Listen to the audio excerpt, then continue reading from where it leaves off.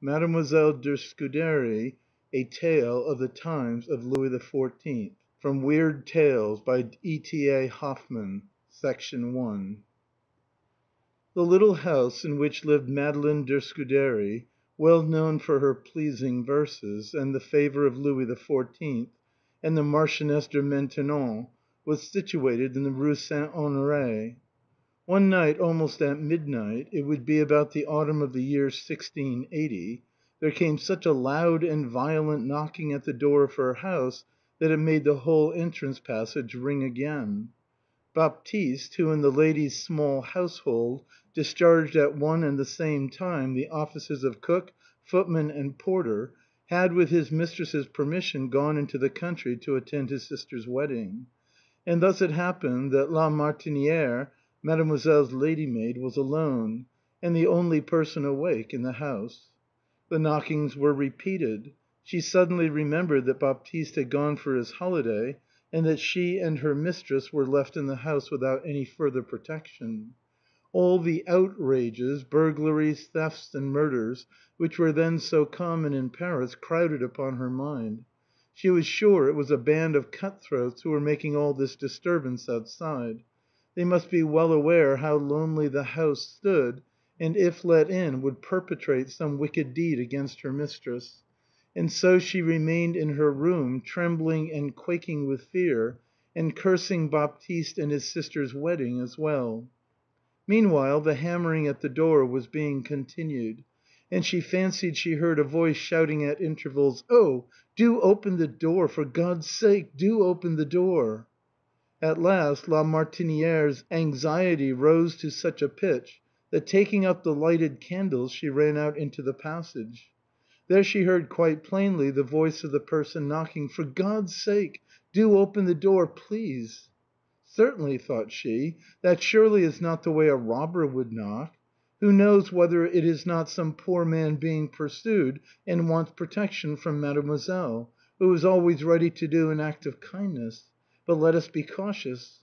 Opening a window she called out, asking who was down there making such a loud noise at the house door so late at night, awakening everybody up out of their sleep, and she endeavored to give her naturally deep voice as manly a tone as she possibly could. By the glimmer of the moon, which now broke through the dark clouds, she could make out a tall figure, enveloped in a light gray mantle, having his broad brimmed hat pulled down right over his eyes. Then she shouted in a loud voice, so as to be heard by the man below, "Baptiste, Claude, Pierre, get up and go and see who this good for nothing vagabond is who is trying to break into the house." But the voice from below made answer gently, and in a tone that had a plaintive ring in it: "Oh! La Martinière, I know quite well that it is you, my good woman, however much you try to disguise your voice. I also know that Baptiste has gone into the country, and that you are alone in the house with your mistress. You may confidently undo the door for me, you need have no fear, for I must positively speak with your mistress, and this very minute." "Whatever are you thinking about?" replied La Martinière. "You want to speak to Mademoiselle in the middle of the night? Don't you know that she has been gone to bed a long time, and that for no price would I wake her up out of her first sound sleep which at her time of life she has so much need of?" The person standing below said, "But I know that your mistress has only just laid aside her new romance, Clélie, at which she labors so unremittingly. And she is now writing certain verses which she intends to read to the Marchioness de Maintenon to morrow. I implore you, Madame Martinière, have pity and open me the door. I tell you the matter involves the saving of an unfortunate man from ruin that the honor, freedom, nay, that the life of a man is dependent upon this moment, and I must speak to Mademoiselle. Recollect how your mistress's anger would rest upon you forever if she learned that you had had the hard heartedness to turn an unfortunate man away from her door when he came to supplicate her assistance." "But why do you come to appeal to my mistress's compassion at this unusual hour? Come again early in the morning," said La Martinière. The person below replied: "Does destiny, then, heed times and hours when it strikes, like the fatal flash fraught with destruction? When there is but a single moment longer in which rescue is still possible, ought assistance to be delayed? Open me the door. You need have nothing to fear from a poor defenceless wretch who is deserted of all the world, pursued and distressed by an awful fate, when he comes to beseech Mademoiselle to save him from threatening danger." La Martinière heard the man below moaning and sobbing with anguish as he said these words. And at the same time the voice was the voice of a young man, gentle, and gifted with the power of appealing straight to the heart. She was greatly touched. Without much further deliberation she fetched the keys. But hardly had she got the door opened when the figure enveloped in the mantle burst tumultuously in, and striding past Martinière into the passage, cried wildly, "Lead me to your mistress." In terror Martinière lifted up the candle, and its light fell upon a young man's face, deathly pale and fearfully agitated. Martinière almost dropped on the floor with fright, for the man now threw open his mantle and showed the bright hilt of a stiletto sticking out of the bosom of his doublet. His eyes flashed fire as he fixed them upon her, crying still more wildly than before, "Lead me to your mistress, I tell you."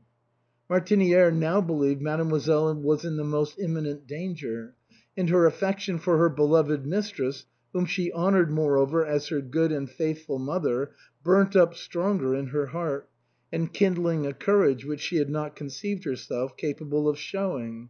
Hastily pulling to the door of her chamber, which she had left standing open, she planted herself before it, and said in a strong firm voice, "I tell you what, your mad behavior in the house here corresponds but ill with your plaintive words outside. I see clearly that I let my pity be excited on a wrong occasion. You neither ought to, nor shall you, speak to my mistress now.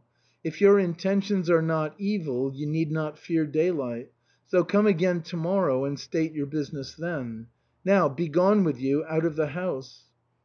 The man heaved a deep and painful sigh, and fixing Martinière with a formidable look, grasped his stiletto. She silently commended her soul to Heaven, but manfully stood her ground, and boldly met the man's gaze, at the same time drawing herself closer to the door, for through it the man would have to go to get to her mistress's chamber. "Let me go to your mistress, I tell you," cried the man again. "Do what you will," replied Martinière. "I shall not stir from this place. Go on and finish your wicked deed, but remember that you also will die a shameful death at the Place Grève, like your atrocious partners in crime."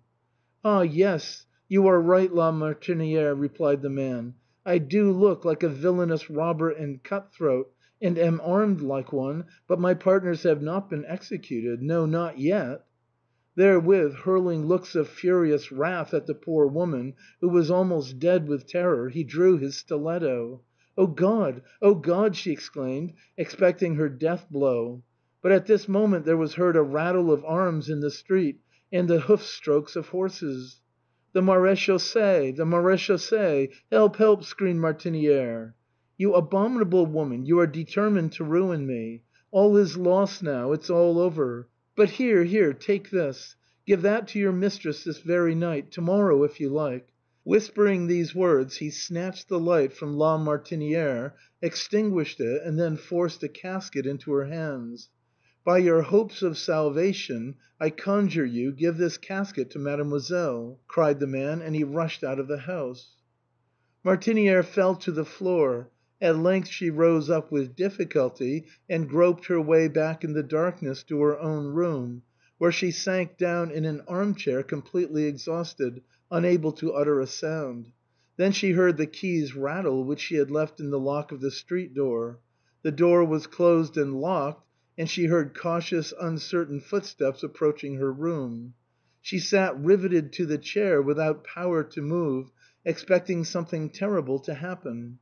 But her sensations may be imagined when the door opened, and by the light of the night taper she recognized at the first glance that it was honest Baptiste, looking very pale and greatly troubled. "In the name of all the saints," he began, "tell me, Dame Martinière, what has happened? Oh, the anxiety and fear I have had!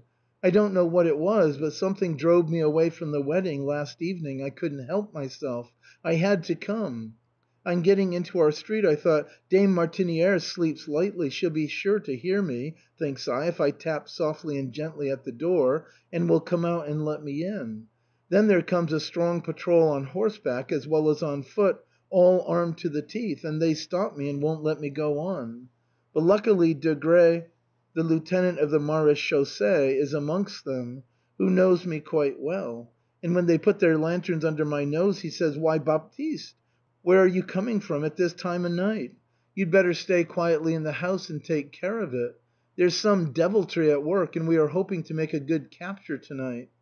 You wouldn't believe how heavy these words fell on my heart, Dame Martiniere.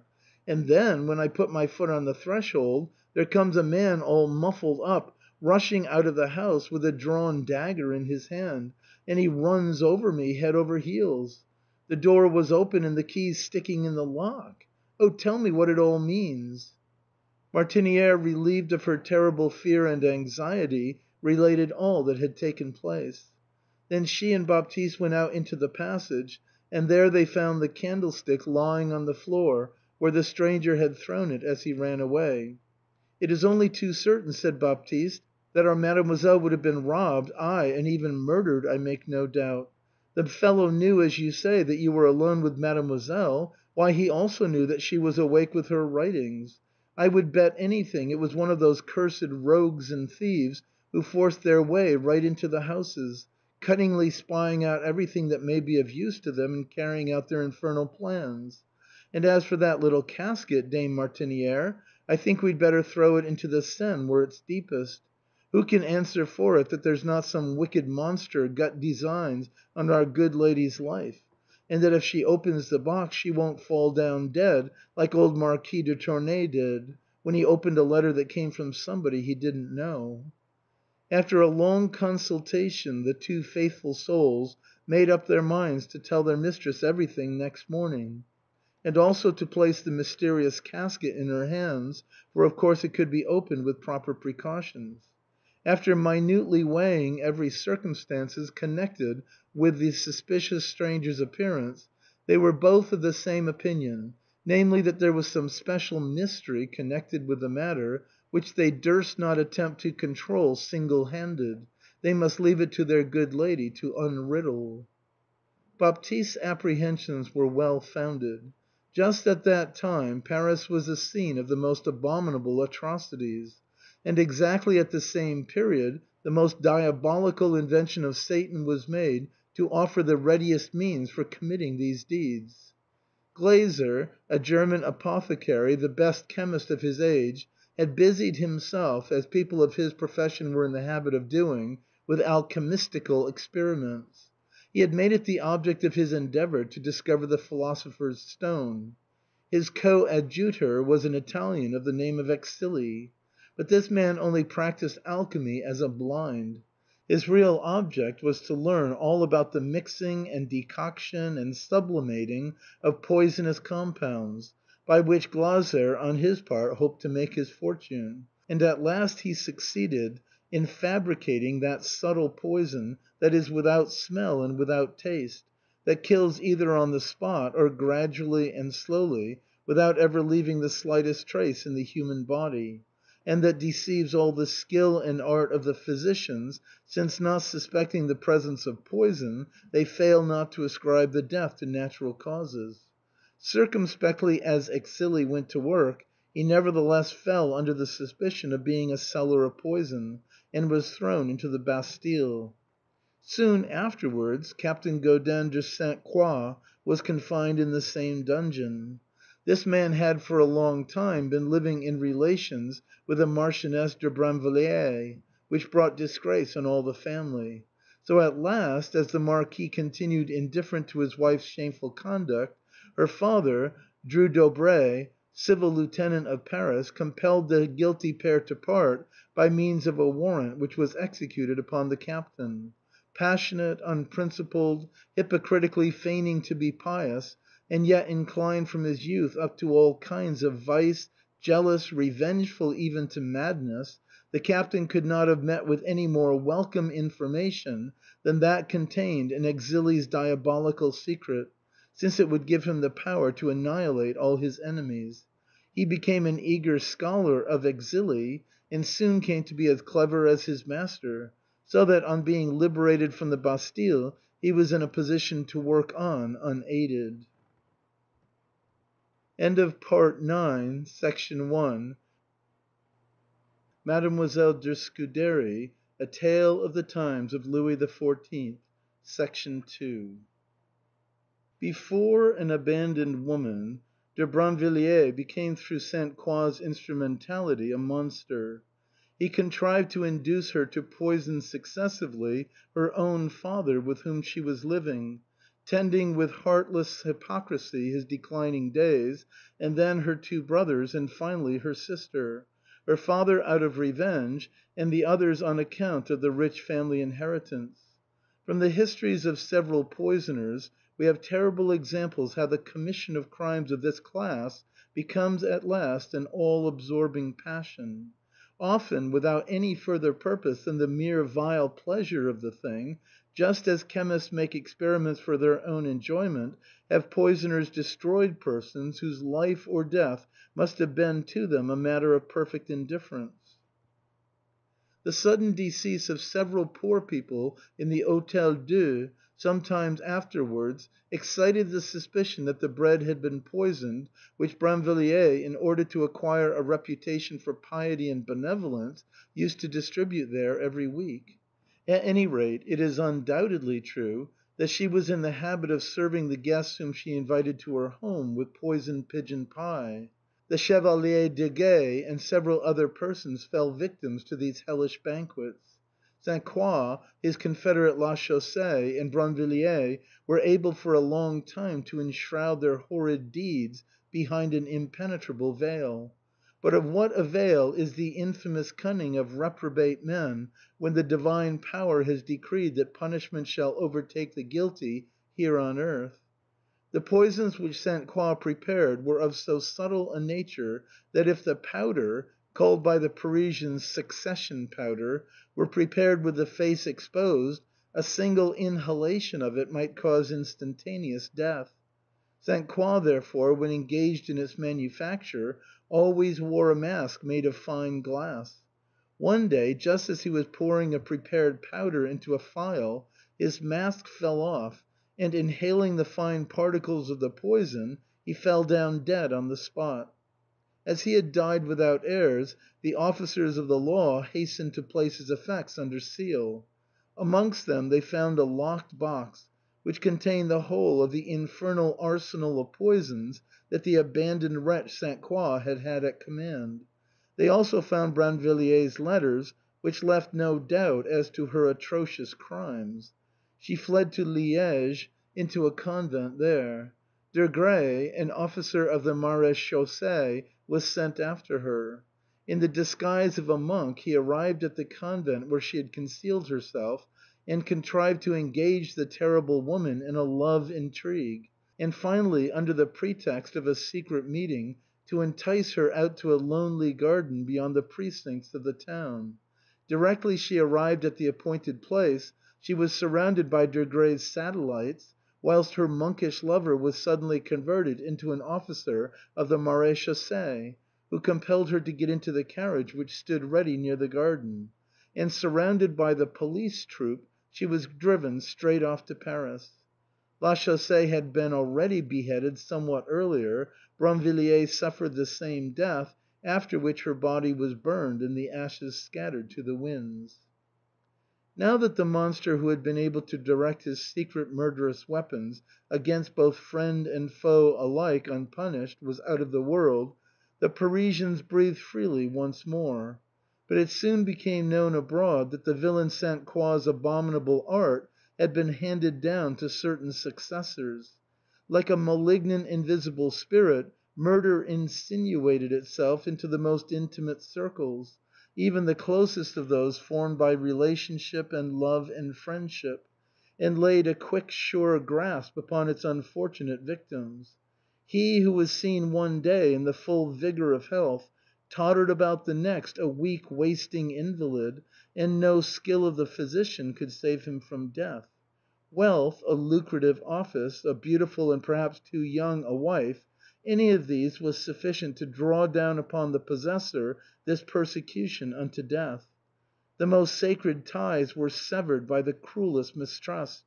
The husband trembled at his wife, the father at his son, the sister at the brother. The dishes remained untouched, and the wine at the dinner which a friend put before his friends; and there where formerly jest and mirth had reigned supreme, savage glances were now spying about for the masked murderer. Fathers of families were observed buying provisions in remote districts with uneasy looks and movements, and preparing them themselves in the first dirty cookshop they came to, since they feared diabolical treachery in their own homes. And yet even the greatest and most well considered precautions were in many cases of no avail. In order to put a stop to this iniquitous state of things, which continued to gain ground and grow greater day by day, the King appointed a special court of justice for the exclusive purpose of inquiring into and punishing these secret crimes. This was the so called Chamber Ardente, which held its sittings not far from the Bastille, its acting president being La Reynie. For a considerable period all his efforts, however zealously they were prosecuted, remained fruitless; it was reserved for the crafty Desgrais to discover the most secret haunts of the criminals. In the Faubourg St. Germain there lived an old woman named Voisin, who made a regular business of fortune telling and raising departed spirits; and with the help of her confederates Le Sage and Le Vigoureux, she managed to excite fear and astonishment in the minds of persons who could not be called exactly either weak or credulous. But she did more than this. A pupil of Exili, like Lacroix, she, like him, concocted the same subtle poison that killed and left no trace behind it; and so she helped in this way profligate sons to get early possession of their inheritance, and depraved wives to another and younger husband. Desgrais wormed his way into her secret; she confessed all. The Chamber Ardente condemned her to be burned alive, and the sentence was executed in the Place Grève. Amongst her effects was found a list of all the persons who had availed themselves of her assistance; and hence it was that not only did execution follow upon execution, but grave suspicion fell even upon persons of high position. Thus it was believed that Cardinal Bonzi had obtained from La Voisin the means of bringing to an untimely end all those persons to whom as Archbishop of Narbonne he was obliged to pay annuities. So also the Duchesse de Bouillon and the Countess de Soissons, whose names were found on the list, were accused of having had dealings with the diabolical woman. And even François Henri de Montmorency, Boutteville, Duke of Luxemburg, peer and marshal of the kingdom, was not spared. He too was prosecuted by the terrible Chamber Ardente. He voluntarily gave himself up to be imprisoned in the Bastille, where through Louvois' and La Reynie's hatred he was confined in a cell only six feet long. Months passed before it was made out satisfactorily that the Duke's transgression did not deserve any blame; he had once had his horoscope cast by La Sage. It is certain that the President La Reynie was betrayed by his blind zeal into acts of cruelty and arbitrary violence. The tribunal acquired the character of an inquisition; the most trifling suspicion was sufficient to entail strict incarceration; and it was left to chance to establish the innocence of a person accused of a capital crime. Moreover, La Reynie was hideous in appearance and of a malicious temperament, so that he soon drew down upon himself the hatred of those whose avenger or protector he was appointed to be. The Duchesse de Bouillon, being asked by him during her trial if she had seen the devil, replied, " I fancy I can see him at this moment." But whilst the blood of the guilty and the suspected alike was flowing in streams in the Place Grève, and after a time the secret poisonings became less and less frequent, a new kind of outrage came to light and again filled the city with dismay. It seemed as if a band of miscreant robbers were in league together for the purpose of getting into their possession all the jewellery they could. No sooner was any valuable ornament purchased than, no matter how or where kept, it vanished in an inconceivable way. But what was still worse, any one who ventured to wear jewelry on his person at night was robbed, and often murdered even, either in the public street or in the dark passage of a house. Those who escaped with their lives declared that they had been knocked down by a blow on the head which felled them like a lightning flash, and that on awaking from their stupor they had found that they had been robbed and were lying in quite a different place from that where they had received the blow. All who were murdered, some of whom were found nearly every morning lying either in the streets or in the houses, had all one and the same fatal wound, a dagger thrust in the heart, killing, according to the judgment of the surgeons, so instantaneously and so surely that the victim would drop down like a stone, unable to utter a sound. Who was there at the voluptuous court of Louis XIV who was not entangled in some clandestine intrigue, and stole to his mistress at a late hour, often carrying a valuable present about him? The robbers, as if they were in league with spirits, knew almost exactly when anything of this sort was on foot. Often the unfortunate did not reach the house where he expected to meet with the reward of his passion. Often he fell on the threshold, nay, at the very chamber door of his mistress, who was horrified at finding the bloody corpse. In vain did Argenson, the Minister of Police, order the arrest of every person from amongst the populace against whom there was the least suspicion. In vain did La Reynie rage and try to extort confessions. In vain did they strengthen their watch and their patrols. They could not find a trace of the evil doers. The only thing that did to a certain extent avail was to take the precaution of going armed to the teeth and have a torch carried before one, and yet instances were not wanting in which the servant was annoyed by stones thrown at him, whilst at the same moment his master was murdered and robbed. It was especially remarkable that in spite of all inquiries in every place where traffic in jewelry was in any way possible, not the smallest specimen of the stolen ornaments ever came to light; and so in this way also no clue was found which might have been followed. Desgrais was furious that the miscreants should thus baffle all his cunning. The quarter of the town in which he happened to be stationed was spared, whilst in the others, where nobody apprehended any evil, these robberies and murders claimed their richest victims. Desgrais hit upon the ruse of making several Desgrais one after the other, so exactly alike in gait, posture, speech, figure, and face, that the myrmidons of the police themselves did not know which was the real Desgrais. Meanwhile, at the risk of his own life, he used to watch alone in the most secret haunts and lairs of crime, and follow at a distance first this man and then that, who at his own instance carried some valuable jewelry about his person. These men, however, were not attacked, and hence the robbers must be acquainted with this contrivance also. Desgrais absolutely despaired. One morning Desgrais came to President la Reynie pale and disturbed, quite distracted in fact. " What's the matter? What news? Have you got a clue ?" cried the President. " Oh! your Excellency," began Desgrais, stammering with rage. " Oh! your Excellency! Last night, not far from the Louvre, the Marquis de la Fère was attacked in my presence." " By Heaven, then," shouted La Reynie, exultant with joy, " we have them." " But first listen to me," interrupted Desgrais with a bitter smile, " and hear how it all came about. Well, then, I was standing near the Louvre on the watch for these devils who mock me, and my heart was on fire with fury. Then there came a figure close past me without noticing me, walking with unsteady steps and looking behind him. By the faint moonlight I saw that it was Marquis de la Fère. I was not surprised to see him, I knew where he was stealing to. But he had not gone more than ten or twelve paces past me when a man started up right out of the earth, as it seemed, and knocked him down, and stooped over him. In the sudden surprise and on the impulse of the moment, which would else have delivered the murderer into my hands, I was thoughtless enough to cry out; and I was just bursting out of my hiding place with a rush, intending to throw myself upon him, when I got entangled in my mantle and fell down. I saw the man hurrying away on the wings of the wind. I made haste and picked myself up and ran after him, and as I ran I blew my horn.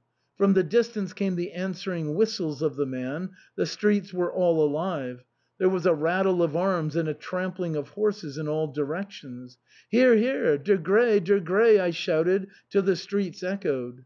By the bright moonlight I could always see the man in front of me doubling here and there to deceive me.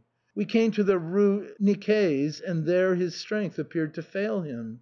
I redoubled my efforts, and he only led me by fifteen paces at the most. " You caught him up! You seized him! The patrol came up !" cried La Reynie, his eyes flashing, whilst he seized Desgrais by the arm as though he were the flying murderer. " Fifteen paces," continued Desgrais in a low voice and with difficulty drawing his breath, " fifteen paces from me the man sprang aside into the shade and disappeared through the wall." " Disappeared! Through the wall! Are you mad ?" cried La Reynie, taking a couple of steps backwards and striking his hands together. MADEMOISELLE DE SCUDERY A TALE OF THE TIMES OF LOUIS XIV "From this moment onwards," continued Desgrais, rubbing his brow like a man tormented by hateful thoughts, " your Excellency may call me a madman or an insane ghost seer, but it was just as I have told you. I was standing staring at the wall like one petrified, when several men of the patrol hurried up breathless, and along with them Marquis de la Fère, who had picked himself up with his drawn sword in his hand. We lighted the torches and sounded the wall backwards and forwards, not an indication of a door or a window or an opening. It was a strong stone wall bounding a yard, and was joined on to a house in which live people against whom there has never risen the slightest suspicion. To day I have again taken a careful survey of the whole place. It must be the devil himself who is mystifying us." Desgrais's story became known in Paris. People's heads were full of the sorceries and incantations and compacts with Satan of Voisin, Vigouroux, and the reprobate priest Le Sage. And as in the eternal nature of us men, the leaning to the marvellous and the wonderful so often outweighs all the authority of reason, so the public soon began to believe simply and solely that, as Desgrais in his mortification had said, Satan himself really did protect the abominable wretches who must have sold their souls to him. It will readily be believed that Desgrais's story received all sorts of ornamental additions. An account of the adventure, with a woodcut on the title page, representing a grim Satanic form, before which the terrified Desgrais was sinking in the earth, was printed and largely sold at the street corners. This alone was enough to overawe the people, and even to rob the myrmidons of the police of their courage, who now wandered about the streets at night trembling and quaking, hung about with amulets, and soaked in holy water. Argenson perceived that the exertions of the Chamber Ardente were of no avail, and he appealed to the King to appoint a tribunal with still more extensive powers to deal with this new epidemic of crime, to hunt up the evil doers and to punish them. The King, convinced that he had already vested too much power in the Chamber Ardente, and shaken with horror at the numberless executions which the bloodthirsty La Reynie had decreed, flatly refused to entertain the proposed plan. Another means was chosen to stimulate the King's interest in the matter. Louis was in the habit of spending the afternoon in Madame de Maintenon's salons, and also despatching state business there with his ministers until a late hour at night. Here a poem was presented to him in the name of the jeopardized lovers, complaining that, whenever gallantry bid them honor their mistress with a present, they had always to risk their lives on the fulfilment of the injunction. There was always both honor and pleasure to be won in shedding their blood for their lady in a knightly encounter; but it was quite another thing when they had to deal with a stealthy malignant assassin against whom they could not arm themselves. would Louis, the bright polar star of all love and gallantry, cause the resplendent beams of his glory to shine and dissipate this dark night, and so unveil the black mystery that was concealed within it. The godlike hero who had broken his enemies to pieces would now, they hoped, draw his sword, glittering with victory, and as Hercules did against the Lernaean serpent, or Theseus the Minotaur, would fight against the threatening monster which was gnawing away all the raptures of love, and darkening all their joy, and converting it into deep pain and grief inconsolable. Serious as the matter was, yet the poem did not lack clever and witty turns, especially in the description of the anxieties which the lovers had to endure as they stole by secret ways to their mistresses, and of how their apprehensions proved fatal to all the rapturous delights of love, and to every dainty, gallant adventure before it could even develop into blossom.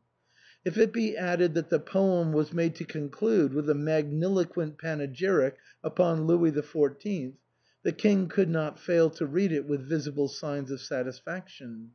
Having reached the end of it, he turned round abruptly to Madame de Maintenon, without lifting his eyes from the paper, and read the poem through again aloud; after which he asked her with a gracious smile what was her opinion with respect to the wishes of the jeopardized lovers.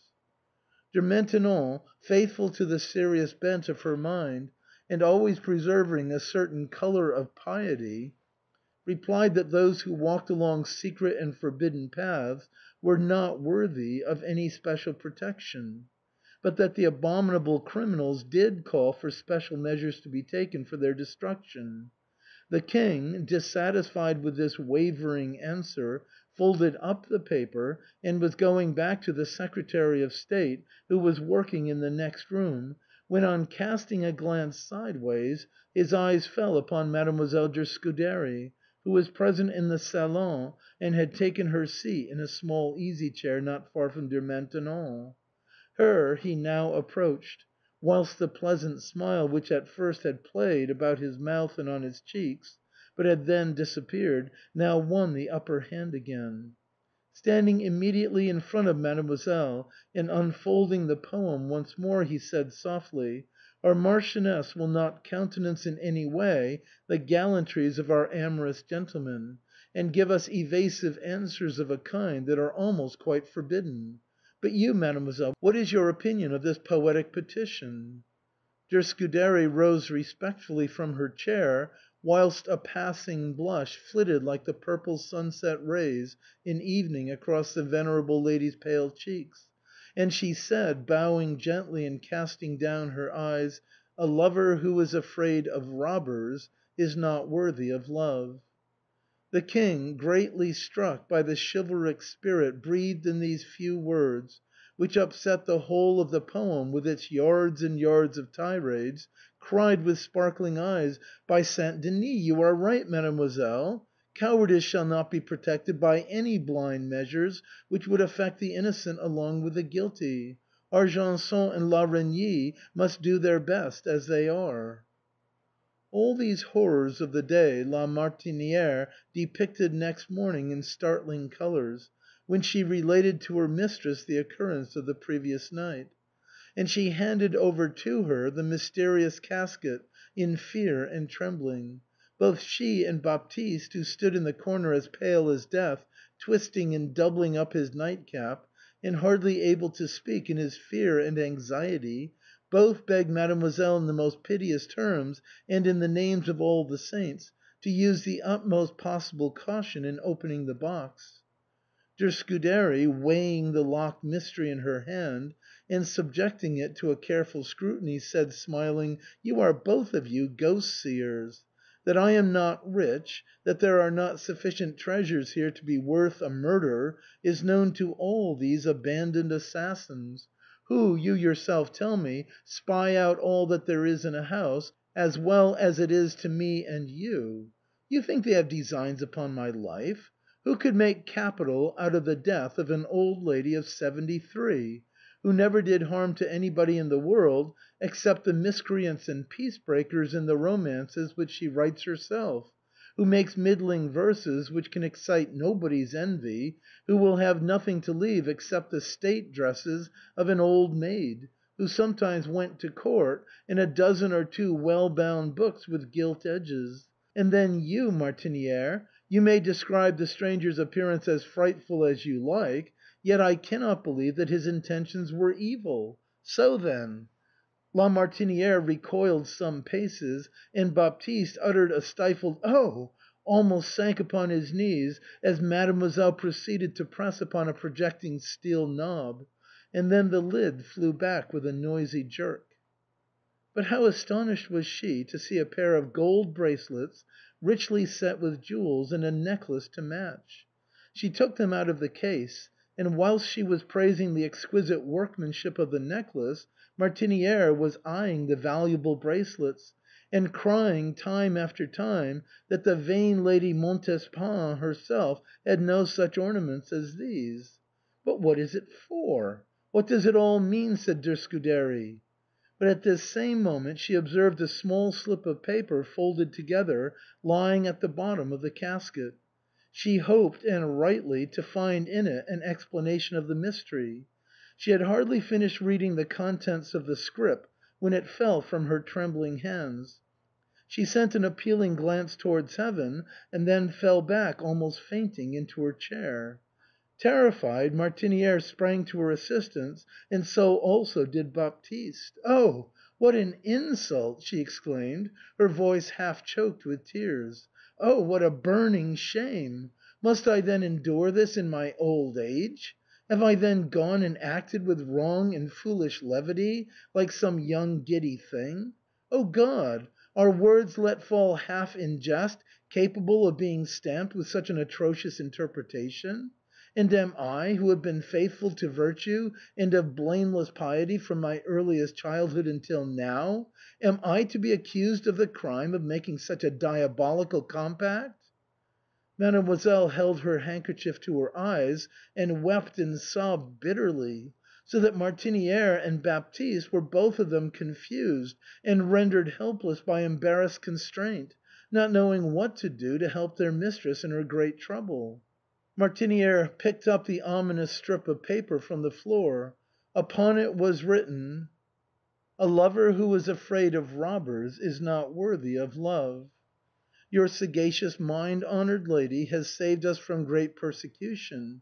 We only exercised the right of the stronger over the weak and the cowardly, in order to appropriate to ourselves treasures that would else be disgracefully squandered. Kindly accept these jewels as a token of our gratitude.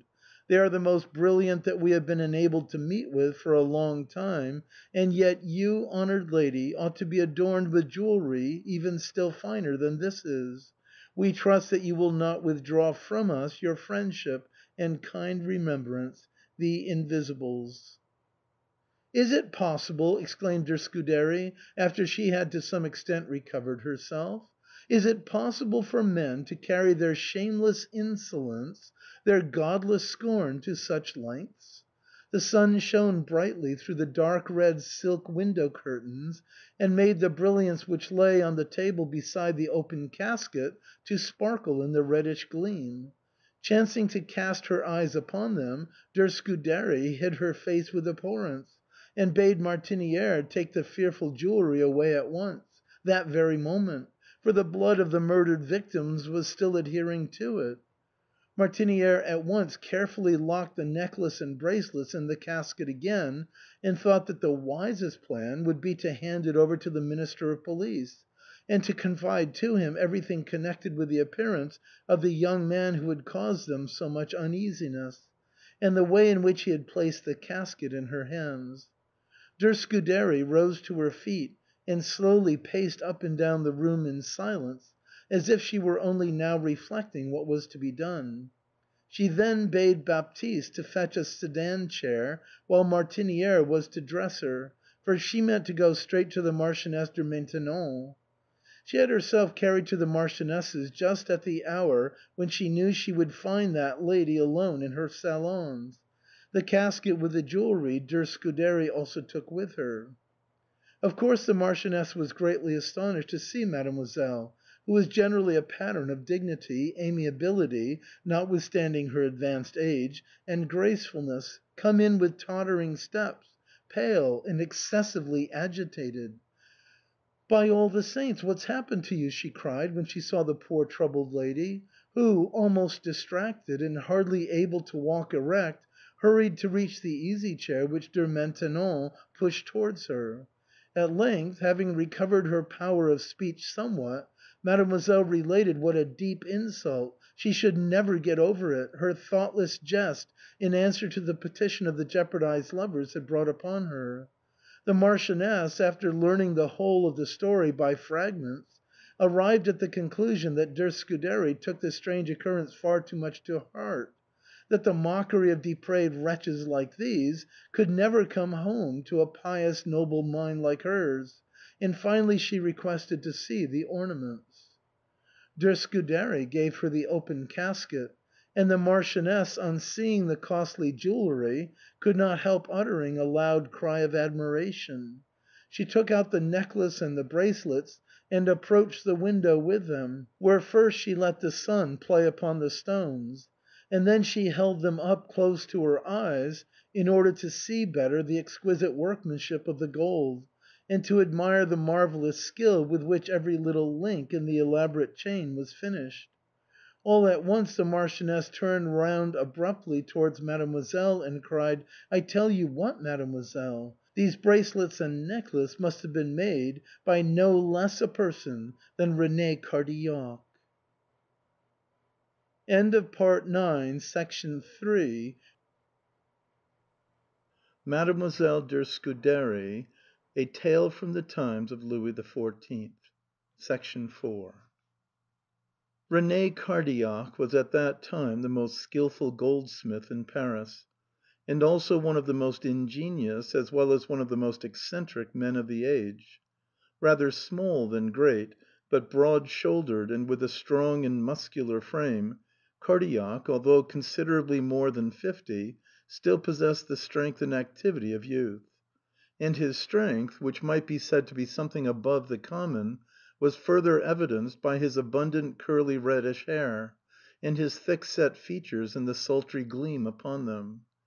Had not Cardillac been known throughout all Paris as one of the most honest and honorable of men, disinterested, frank, without any reserve, always ready to help, the very peculiar appearance of his eyes, which were small, deep set, green and glittering, might have drawn upon him the suspicion of lurking malice and viciousness. As already said, Cardillac was the greatest master in his trade, not only in Paris but also perhaps of his age. Intimately acquainted with the properties of precious stones, he knew how to treat them and set them in such a manner that an ornament which had at first been looked upon as wanting in lustre proceeded out of Cardillac's shop possessing a dazzling magnificence. Every commission he accepted with burning avidity, and fixed a price that seemed to bear no proportion whatever to the work to be done, so small was it. Then the work gave him no rest; both night and day he was heard hammering in his workshop, and often when the thing was nearly finished he would suddenly conceive a dislike to the form. He had doubts as to the elegance of the setting of some or other of the jewels, of a little link, quite a sufficient reason for throwing all into the crucible, and beginning the entire work over again. Thus every individual piece of jewelry that he turned out was a perfect and matchless masterpiece, utterly astounding to the person who had given the commission. But it was now hardly possible to get any work that was once finished out of his hands. Under a thousand pretexts he put off the owner from week to week and from month to month. It was all in vain to offer him double for the work; he would not take a single louis d'or more than the price bargained for. When at last he was obliged to yield to the insistence of his customer, he could not help betraying all the signs of the greatest annoyance, nay, of even fury seething in his heart. If the piece of work which he had to deliver up was something of more than ordinary importance, especially anything of great value, worth many thousands owing to the costliness of the jewels or the extreme delicacy of the gold work, he was capable of running about like a madman, cursing himself, his labor, and all about him. But then if any person came up behind him and shouted, " Rene Cardillac, would you not like to make a beautiful necklace for my betrothed, bracelets for my sweetheart," or so forth, he would suddenly stop still, and looking at him with his little eyes would ask, as he rubbed his hands, " Well, what have you got ?" Whereupon the other would produce a small jewel case, and say, " Oh! some jewels, see, they are nothing particular, only common things, but in your hands —" Cardillac does not let him finish what he has to say, but snatching the case out of his hand, takes out the stones, which are in reality of but little value, and holds them up to the light, crying enraptured, " Ho! ho! common things, are they? Not at all! Pretty stones, magnificent stones, only let me make them up for you; and if you're not squeamish to a handful or two of louis d'or, I can add a few more little gems which shall sparkle in your eyes like the great sun himself."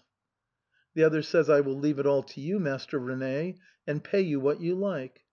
Then, without making any difference whether his customer is a rich citizen only, or an eminent nobleman of the court, Cardillac throws his arms impetuously round his neck and embraces him and kisses him, saying that now he is quite happy again, and the work will be finished in a week's time. Running off home with breathless speed and up into his workshop, he begins to hammer away, and at the week's end has produced a masterpiece of art. But when the customer comes prepared to pay with joy the insignificant sum demanded, and expecting to take the finished ornament away with him, Cardillac gets testy, rude, obstinate, and hard to deal with. " But, Master Cardillac, recollect that my wedding is to morrow." " But what have I to do with your wedding? Come again in a fortnight's time." " The ornament is finished, here is your money, and I must have it." " And I tell you that I've lots of things to alter in it, and I shan't let you have it to day." " And I tell you that if you won't deliver up the ornament by fair means (of course I am willing to pay you double for it), you shall soon see me march up with Argenson's serviceable underlings." " Well, then, may Satan torture you with scores of red hot pincers, and bang three hundredweight on the necklace till it strangle your bride." And therewith, thrusting the jewelry into the bridegroom's breast pocket, Cardillac seizes him by the arm and turns him roughly out of the door, so that he goes stumbling all down the stairs. Then Cardillac puts his head out of the window and laughs like a demon on seeing the poor young man limp out of the house, holding his handkerchief to his bloody nose. But one thing there was about him that was quite inexplicable. Often, after he had enthusiastically taken a piece of work in hand, he would implore his customer by the Virgin and all the saints, with every sign of deep and violent agitation, and with moving protestations, nay, amidst tears and sobs, that he might be released from his engagement. Several persons who were most highly esteemed of the king and the people had vainly offered large sums of money to get the smallest piece of work from him. He threw himself at the king's feet and besought as a favor at his hands that he might not be asked to do any work for him. In the same way he refused every commission from De Maintenon. He even rejected with aversion and horror the proposal she made him to fabricate for her a little ring with emblematic ornaments, which was to be presented to Racine. Accordingly, De Maintenon now said, " I would wager that if I sent for Cardillac to come here to tell me at least for whom he made these ornaments, he would refuse to come, since he would probably fear it was some commission; and he never will make anything for me on any account.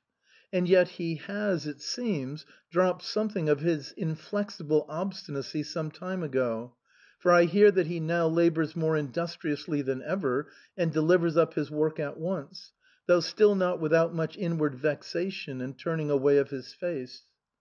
Der Scuderi, who was greatly concerned that the ornament should, if it could possibly be managed, come soon into the hands of the proper owner, thought they might send express word to Master Whimsicality that they did not want him to do any work, but only to pass his opinion upon some jewels. This commended itself to the Marchioness. Cardillac was sent for, and as though he had been already on the way, after a brief interval he stepped into the room. On observing Der Scuderi he appeared to be embarrassed. and like one confounded by something so utterly unexpected that he forgets the claims of propriety such as the moment demands, he first made a low and reverential obeisance to this venerable lady, and then only did he turn to the Marchioness. She, pointing to the jewellery, which now lay glittering on the dark green table cloth, asked him hastily if it was of his workmanship. Hardly glancing at it, and keeping his eyes steadily fixed upon De Maintenon, Cardillac hurriedly packed the necklace and bracelets into the casket, which stood beside them, and pushed it violently away from him. Then he said, whilst a forbidding smile gleamed in his red face, " By my honor, noble lady, he would have but a poor acquaintance with Rene Cardillac's workmanship who should believe for a single moment that any other goldsmith in the world could set a piece of jewellery like that is done. Of course it's my handiwork." " Then tell me," continued the Marchioness, " for whom you made these ornaments." " For myself alone," replied Cardillac. " Ah! I dare say your ladyship finds that strange," he continued, since both she and der Scuderi had fixed their eyes upon him astounded, the former full of mistrust, the latter of anxious suspense as to what turn the matter would take next. " But it is so. Merely out of love for my beautiful handicraft I picked out all my best stones and gladly set to work upon them, exercising more industry and care over them than I had ever done over any stones before. A short time ago the ornaments disappeared in some inconceivable way out of my workshop." " Thank Heaven !" cried der Scuderi, whilst her eyes sparkled with joy, and she jumped up from her chair as quick and nimble as a young girl. Then going up to Cardillac she placed both her hands upon his shoulders and said, " Here, Master Rene, take your property back again which these rascally miscreants stole from you." And she related every detail of how she had acquired possession of the ornaments, to all of which Cardillac listened silently, with his eyes cast down upon the floor. Only now and again he uttered an indistinct " Hm! so! Ho! ho !" now throwing his hands behind his back, and now softly stroking his chin and cheeks. When der Scuderi came to the end of her story, Cardillac appeared to be struggling with some new and striking thought which had occurred to him during the course of it, and as though he were laboring with some rebellious resolve that refused to conform to his wishes. He rubbed his forehead, sighed, drew his hand across his eyes as if to check tears which were gushing from them.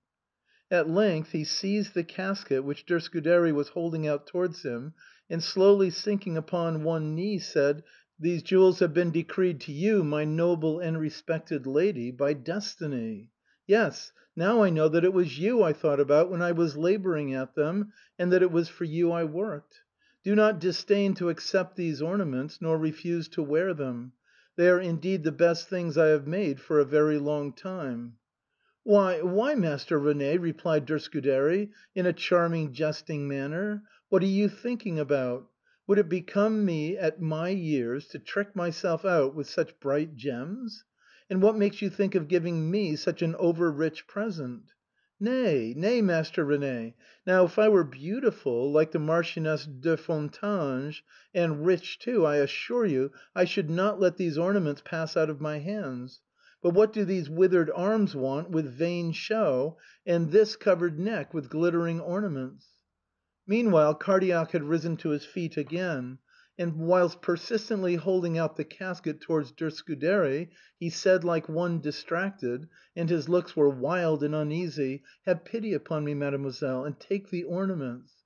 You don't know what great respect I cherish in my heart for your virtue and your high good qualities. Accept this little present as an effort on my behalf to show my deep respect and devotion." But as der Scuderi still continued to hesitate, de Maintenon took the casket out of Cardillac's hand, saying, " Upon my word, mademoiselle, you are always talking about your great age. What have we, you and I, to do with years and their burdens? And aren't you acting just like a shy young thing, who would only too well like to take the sweet fruit that is offered to her, if she could only do so without stirring either hand or finger? Don't refuse to accept from our good Master Rene as a free gift what scores of others could never get, in spite of all their gold and all their prayers and entreaties." Whilst speaking, De Maintenon had forced the casket into Mademoiselle's hand. And now Cardillac again fell upon his knees and kissed Scuderi's gown and hands, sighing and gasping, weeping and sobbing; then he jumped up and ran off like a madman, as fast as he could run, upsetting chairs and tables in his senseless haste, and making the glasses and porcelain tumble together with a ring and jingle and clash. De Scuderi cried out quite terrified, " Good heavens! what's happened to the man ?"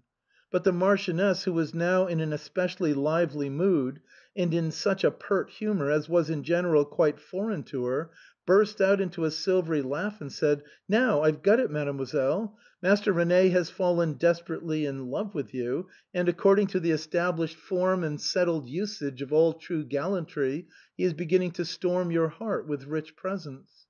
She even pushed her raillery further, admonishing De Scuderi not to be too cruel towards her despairing lover, until Mademoiselle, letting her natural born humor have play, was carried away by the bubbling stream of merry conceits and fancies. She thought that if that was really the state of the case, she should be at last conquered, and would not be able to help affording to the world the unprecedented example of a goldsmith's bride, of untarnished nobility, of the age of three and seventy. De Maintenon offered her services to weave the wedding wreath, and to instruct her in the duties of a good housewife, since such a snippety bit of a girl could not of course know much about such things. But when at length De Scuderi rose to say adieu to the Marchioness, she again, notwithstanding all their laughing jests, grew very grave, as she took the jewel case in her hand and said, " And yet, Marchioness, do you know, I can never wear these ornaments. Whatever be their history, they have at some time or other been in the hands of those diabolical wretches who commit robbery and murder with all the effrontery of Satan himself; nay, I believe they must be in an unholy league with them. I shudder with awe at the sight of the blood which appears to adhere to the glittering stones. And then, I must confess, I cannot help feeling that there is something strangely uneasy and awe inspiring about Cardillac's behavior. I cannot get rid of the dark presentiment that behind all this there is lurking some fearful and terrible secret. But when, on the other hand, I pass the whole matter with all its circumstantial adjuncts in clear review before my mind, I cannot even guess what the mystery consists in, nor yet how our brave honest Master Rene, the pattern of a good industrious citizen, can have anything to do with what is bad or deserving of condemnation. But of this I am quite sure, that I shall never dare to put the ornaments on. The Marchioness thought that this was carrying scruples too far. But when De Scuderi asked her on her conscience what she should really do in her (Scuderi's) place, De Maintenon replied earnestly and decisively, far sooner throw the ornaments into the Seine than ever wear them. The scene with Master Rene was described by De Scuderi in charming verses, which she read to the King on the following evening in De Maintenon's salon; and of course it may readily be conceived that, conquering her uncomfortable feelings and forebodings of evil, she drew at Master Rene's expense a diverting picture in bright vivacious colors of the goldsmith's bride of three and seventy who was of such ancient nobility. At any rate the King laughed heartily, and swore that Boileau Despréaux had found his master. Hence De Scuderi's poem was popularly adjudged to be the wittiest that ever was written. MADEMOISELLE DE SCUDERY A TALE FROM THE TIMES OF LOUIS XIV SEVERAL months had passed when, as chance would have it, De Scuderi was driving over the Pont Neuf in the Duchess de Montpensier's glass coach. The invention of this elegant class of vehicles was still so recent that a throng of the curious always gathered round it when one appeared in the streets. And so there was on the present occasion a gaping crowd round De Montpensier's coach on the Pont Neuf, so great as almost to hinder the horses from getting on. All at once De Scuderi heard a continuous fire of abuse and cursing, and perceived a man making his way through the thick of the crowd by the help of his fists and by punching people in the ribs. And when he came nearer she saw that his piercing eyes were riveted upon her. His face was pale as death and distorted by pain, and he kept his eyes riveted upon her all the time he was energetically working his way onwards with his fists and elbows, until he reached the door. Pulling it open with impetuous violence, he threw a strip of paper into De Scuderi's lap, and again dealing out and receiving blows and punches, disappeared as he had come. Martiniere, who was accompanying her mistress, uttered a scream of terror when she saw the man appear at the coach door, and fell back upon the cushions in a swoon. Scuderi vainly pulled the cord and called out to the driver; he, as if impelled by the foul fiend, whipped up his horses, so that they foamed at the mouth and tossed their heads and kicked and plunged, and finally thundered over the bridge at a sharp trot. De Scuderi emptied her smelling bottle over the insensible woman, who at length opened her eyes. Trembling and shaking, she clung convulsively to her mistress, her face pale with anxiety and terror, as she gasped out, " For the love of the Virgin, what did that terrible man want? Oh! yes, it was he, it was he, the very same who brought you the casket that awful night." Mademoiselle pacified the poor woman, assuring her that not the least mischief had been done, and that the main thing to do just then was to see what the strip of paper contained. She unfolded it and found these words :" I am being plunged into the pit of destruction by an evil destiny which you may avert. I implore you, as the son does the mother whom he cannot leave, and with the warmest affection of a loving child, send the necklace and bracelets which you received from me to Master Rene Cardillac. Any pretext will do to get some improvement made, or to get something altered. Your welfare, your life, depend upon it. If you have not done so by the day after to morrow, I will force my way into your dwelling and kill myself before your eyes." " Well, now, it is at any rate certain," said De Scuderi, when she had read it, " that this mysterious man, even if he does really belong to the notorious band of thieves and robbers, yet has no evil designs against me. If he had succeeded in speaking to me that night, who knows whether I should not have learnt of some singular event or some mysterious complication of things, respecting which I now try in vain to form even the remotest guess. But let the matter now take what shape it may, I shall certainly do what this note urgently requests me to do, if for no other reason than to get rid of these ill starred jewels, which I always fancy are a talisman of the foul fiend himself. And I warrant Cardillac, true to his rooted habit, won't let it pass out of his hands again so easily."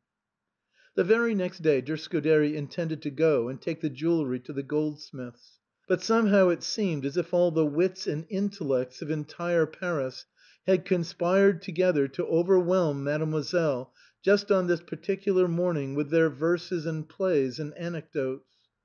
No sooner had La Chapelle finished reading a tragedy, and had slyly remarked with some degree of confident assurance that he should now certainly beat Racine, the latter poet himself came in, and routed him with a pathetic speech of a certain king, until Boileau appeared to set off the rockets of his wit into this black sky of tragedy, in order that he might not be talked to death on the subject of the colonnade of the Louvre, for he had been penned up in it by Dr. Perrault, the architect.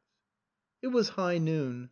Der had to go to the Duchess de Montpensier's, and so the visit to Master Rene Cardillac's was put off until the next day. Mademoiselle, however, was tormented by a most extraordinary feeling of uneasiness. The young man's figure was constantly before her eyes, and deep down in her memory there was stirring a dim recollection that she had seen his face and features somewhere before. Her sleep, which was of the lightest, was disturbed by troublesome dreams. She fancied she had acted frivolously and even criminally in having delayed to grasp the hand which the unhappy wretch who was sinking into the abyss of ruin was stretching up towards her.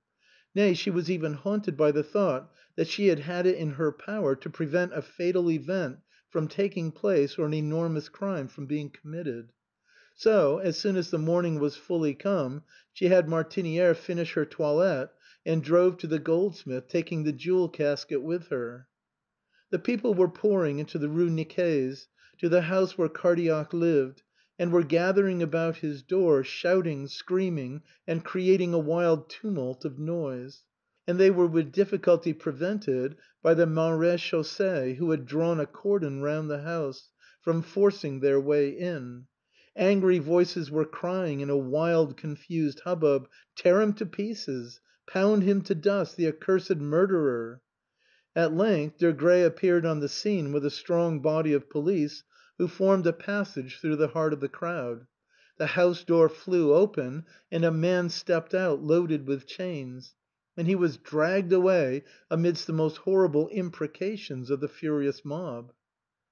At the moment that De Scuderi, who was half swooning from fright and her apprehensions that something terrible had happened, was witness of this scene, a shrill piercing scream of distress rang upon her ears. "Go on, go on, right forward!" she cried to her coachman, almost distracted. Scattering the dense mass of people by a quick clever turn of his horses, he pulled up immediately in front of Cardillac's door. There De Scuderi observed Desgrais, and at his feet a young girl, as beautiful as the day, with dishevelled hair, only half dressed, and her countenance stamped with desperate anxiety and wild with despair. She was clasping his knees and crying in a tone of the most terrible, the most heartrending anguish, "Oh! he is innocent, he is innocent!" In vain were Desgrais's efforts, as well as those of his men, to make her leave hold and to raise her up from the floor. At last a strong, brutal fellow laid his coarse, rough hands upon the poor girl and dragged her away from Desgrais by main force, but awkwardly stumbling, let her drop, so that she rolled down the stone steps and lay in the street without uttering a single sound more. She appeared to be dead. Mademoiselle could no longer contain herself. "For God's sake, what has happened? What's all this about?" she cried, as she quickly opened the door of her coach and stepped out. The crowd respectfully made way for the estimable lady. She, on perceiving that two or three compassionate women had raised up the girl and set her on the steps, where they were rubbing her forehead with aromatic waters, approached Desgrais and repeated her question with vehemence. "A horrible thing has happened," said Desgrais. René Cardillac was found this morning murdered, stabbed to the heart with a dagger. His journeyman Olivier Brisson is the murderer. That was he who was just led away to prison." "And the girl?" exclaimed Mademoiselle. "Is Madelon, Cardillac's daughter," broke in Desgrais. "Yon abandoned wretch is her lover. And she's screaming and crying and protesting that Olivier is innocent, quite innocent. But the real truth is she is cognizant of the deed, and I must have her also taken to the prison." Saying which Desgrais cast a glance of such spiteful, malicious triumph upon the girl that De Scuderi trembled. Madelon was just beginning to breathe again, but she still lay with her eyes closed, incapable of either sound or motion. And they did not know what to do, whether to take her into the house or to stay with her longer until she came round again. Mademoiselle's eyes filled with tears, and she was greatly agitated as she looked upon the innocent angel. Desgrais and his myrmidons made her shudder. Downstairs came a heavy rumbling noise, they were bringing down Cardillac's corpse. Quickly making up her mind, De Scuderi said loudly, " I will take the girl with me. You may attend to everything else, Desgrais." A muttered wave of applause swept through the crowd. They lifted up the girl, whilst everybody crowded round and hundreds of arms were proffered to assist them. Like one floating in the air the young girl was carried to the coach and placed within it, blessings being showered from the lips of all upon the noble lady who had come to snatch innocence from the scaffold. The efforts of Seron, the most celebrated physician in Paris, to bring Madelon back to herself were at length crowned with success for she had lain for hours in a dead swoon, utterly unconscious. What the physician began was completed by De Scuderi, who strove to excite the mild rays of hope in the girl's soul, till at length relief came to her in the form of a violent fit of tears and sobbing. She managed to relate all that had happened, although from time to time her heart rending grief got the upper hand, and her voice was choked with convulsive sobs. About midnight she had been awakened by a light tap at her chamber door, and heard Olivier's voice imploring her to get up at once, as her father was dying. Though almost stunned with dismay, she started up and opened the door, and saw Olivier with a light in his hand, pale and dreadfully agitated, and dripping with perspiration. He led the way into her father's workshop with an unsteady gait, and she followed him. There lay her father with fixed staring eyes, his throat rattling in the agonies of death. With a loud wail she threw herself upon him, and then first noticed his bloody shirt. Olivier softly drew her away, and set to work to wash a wound in her father's left breast with a traumatic balsam and to bind it up. During this operation her father's senses came back to him. His throat ceased to rattle, and he bent first upon her and then upon Olivier a glance full of feeling, took her hand and placed it in Olivier's, fervently pressing them together. She and Olivier both fell upon their knees beside her father's bed. He raised himself up with a cry of agony, but at once sank back again, and in a deep sigh breathed his last. Then they both gave way to their grief and sorrow and wept aloud.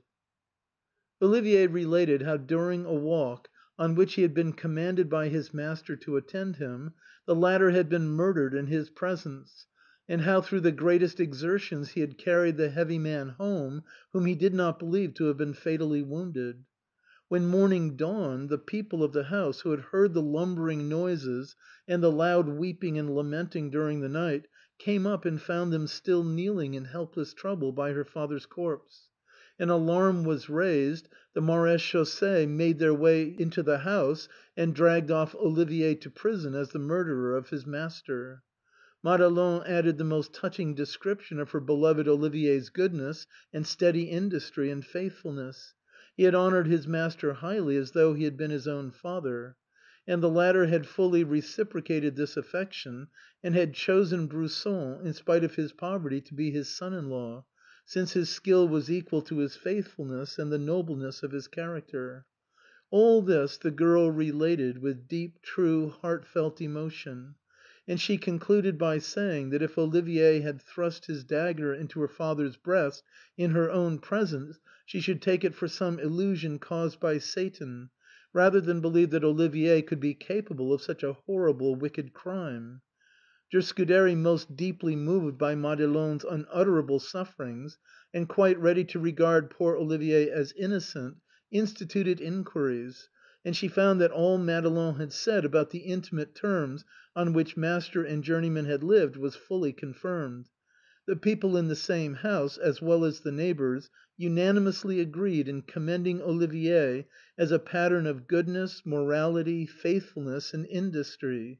Nobody knew anything evil about him, and yet when mention was made of his heinous deed, they all shrugged their shoulders and thought there was something passing comprehension in it. Olivier, on being arraigned before the Chamber Ardente, denied the deed imputed to him, as Mademoiselle learned, with the most steadfast firmness and with honest sincerity, maintaining that his master had been attacked in the street in his presence and stabbed, that then, as there were still signs of life in him, he had himself carried him home, where Cardillac had soon afterwards expired. And all this, too, harmonized with Madeleine's account. Again and again and again de Scuderi had the minutest details of the terrible event repeated to her. She inquired minutely whether there had ever been a quarrel between master and journeyman, whether Olivier was perhaps not subject occasionally to those hasty fits of passion which often attack even the most good natured of men like a blind madness, impelling the commission of deeds which appear to be done quite independent of voluntary action. But in proportion as Madeleine spoke with increasing heartfelt warmth of the quiet domestic happiness in which the three had lived, united by the closest ties of affection, every shadow of suspicion against poor Olivier, now being tried for his life, vanished away. Scrupulously weighing every point, and starting with the assumption that Olivier, in spite of all the things which spoke so loudly for his innocence, was nevertheless Cardillac's murderer, de Scuderi did not find any motive within the bounds of possibility for the hideous deed, for from every point of view it would necessarily destroy his happiness. He is poor, but clever. He has succeeded in gaining the good will of the most renowned master of his trade. He loves his master's daughter. His master looks upon his love with a favorable eye. Happiness and prosperity seem likely to be his lot through life. But now suppose that, provoked in some way that God alone may know, Olivier had been so overmastered by anger as to make a murderous attempt upon his benefactor, his father, what diabolical hypocrisy he must have practised to have behaved after the deed in the way in which he really did behave. Firmly convinced of Olivier's innocence, Mademoiselle made up her mind to save the unhappy young man at no matter what cost. Before appealing, however, to the King's mercy, it seemed to her that the most advisable step to take would be to call upon La Reynie, and direct his attention to all the circumstances that could not fail to speak for Olivier's innocence, and so perhaps awaken in the President's mind a feeling of interest favorable to the accused, which might then communicate itself to the judges with beneficial results.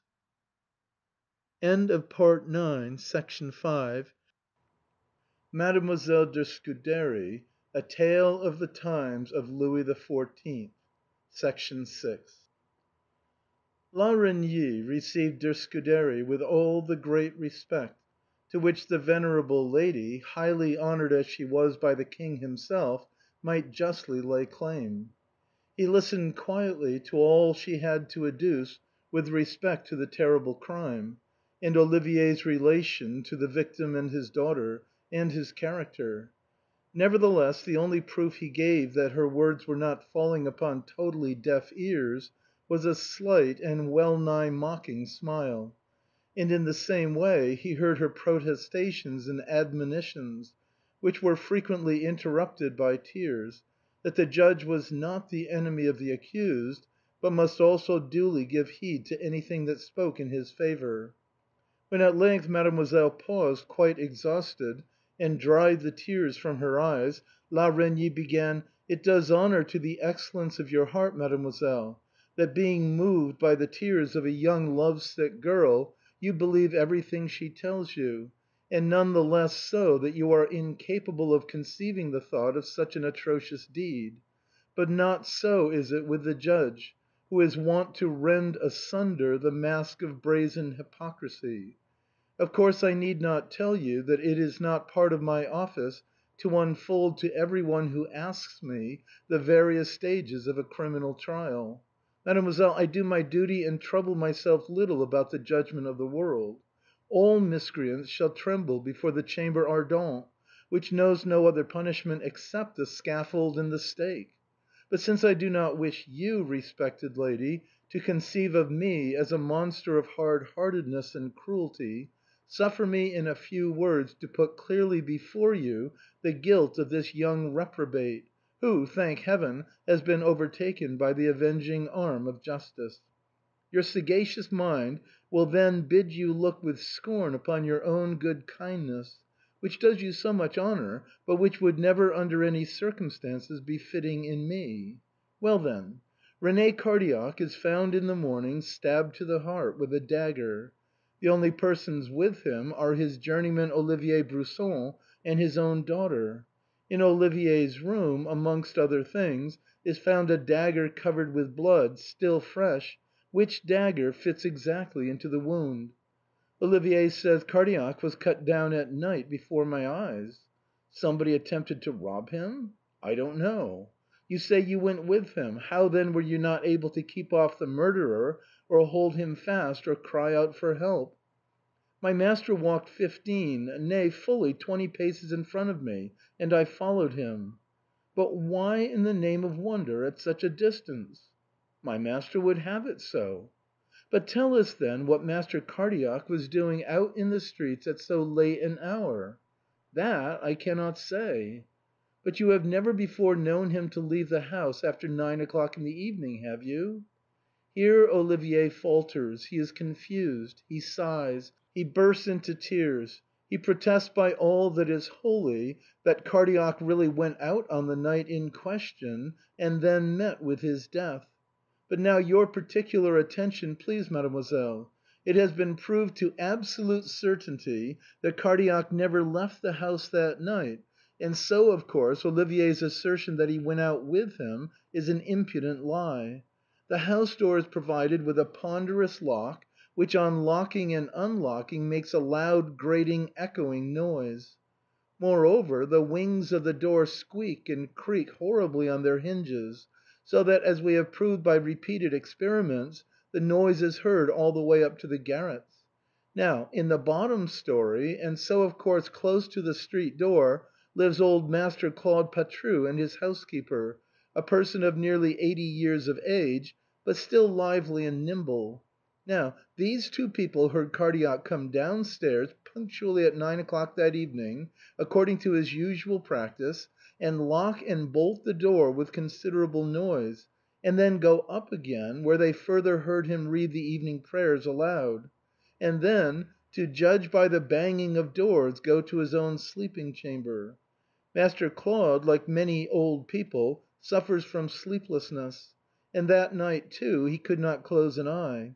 And so, somewhere about half past nine, it seems, his old housekeeper went into the kitchen, to get into which she had to cross the passage, for a light, and then came and sat down at the table beside Master Claude with an old chronicle, out of which she read; whilst the old man, following the train of his thoughts, first sat down in his easy chair, and then stood up again, and paced softly and slowly up and down the room in order to bring on weariness and sleepiness.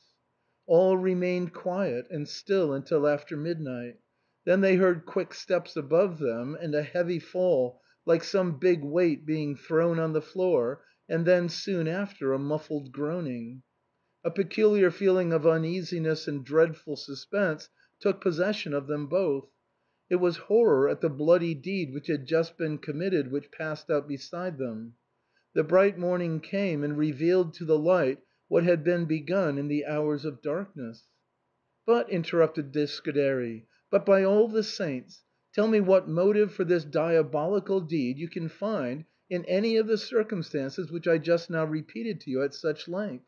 " Hm !" rejoined La Reynie, " Cardillac was not poor; he had some valuable stones in his possession." " But would not his daughter inherit everything ?" continued the Scuderi. " You're forgetting that Olivier was to be Cardillac's son in law." " But perhaps he had to share, or only do the murderous deed for others," says La Reynie.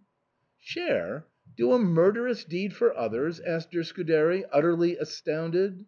" I must tell you, mademoiselle," continued the president, " that Olivier's blood would long ago have been shed in the Place Grève, had not his crime been bound up with that deeply enshrouded mystery which has hitherto exercised such a threatening sway over all Paris. It is evident that Olivier belongs to that accursed band of miscreants who, laughing to scorn all the watchfulness and efforts and strict investigations of the courts, have been able to carry out their plans so safely and unpunished. Through him all shall, all must be cleared up. Cardillac's wound is precisely similar to those borne by all the persons who have been found murdered and robbed in the streets and houses. But the most decisive fact is that since the time Olivier Brisson has been under arrest, all these murders and robberies have ceased. The streets are now as safe by night as they are by day. These things are proof enough that Olivier probably was at the head of this band of assassins. As yet he will not confess it, but there are means of making him speak against his will." " And Madelon !" exclaimed the Scuderi, " and Madelon, the faithful, innocent dove !"" Oh !" said La Reynie, with a venomous smile, " oh! but who will answer to me for it that she also is not an accomplice in the plot? What does she care about her father's death? Her tears are only shed for this murderous rascal."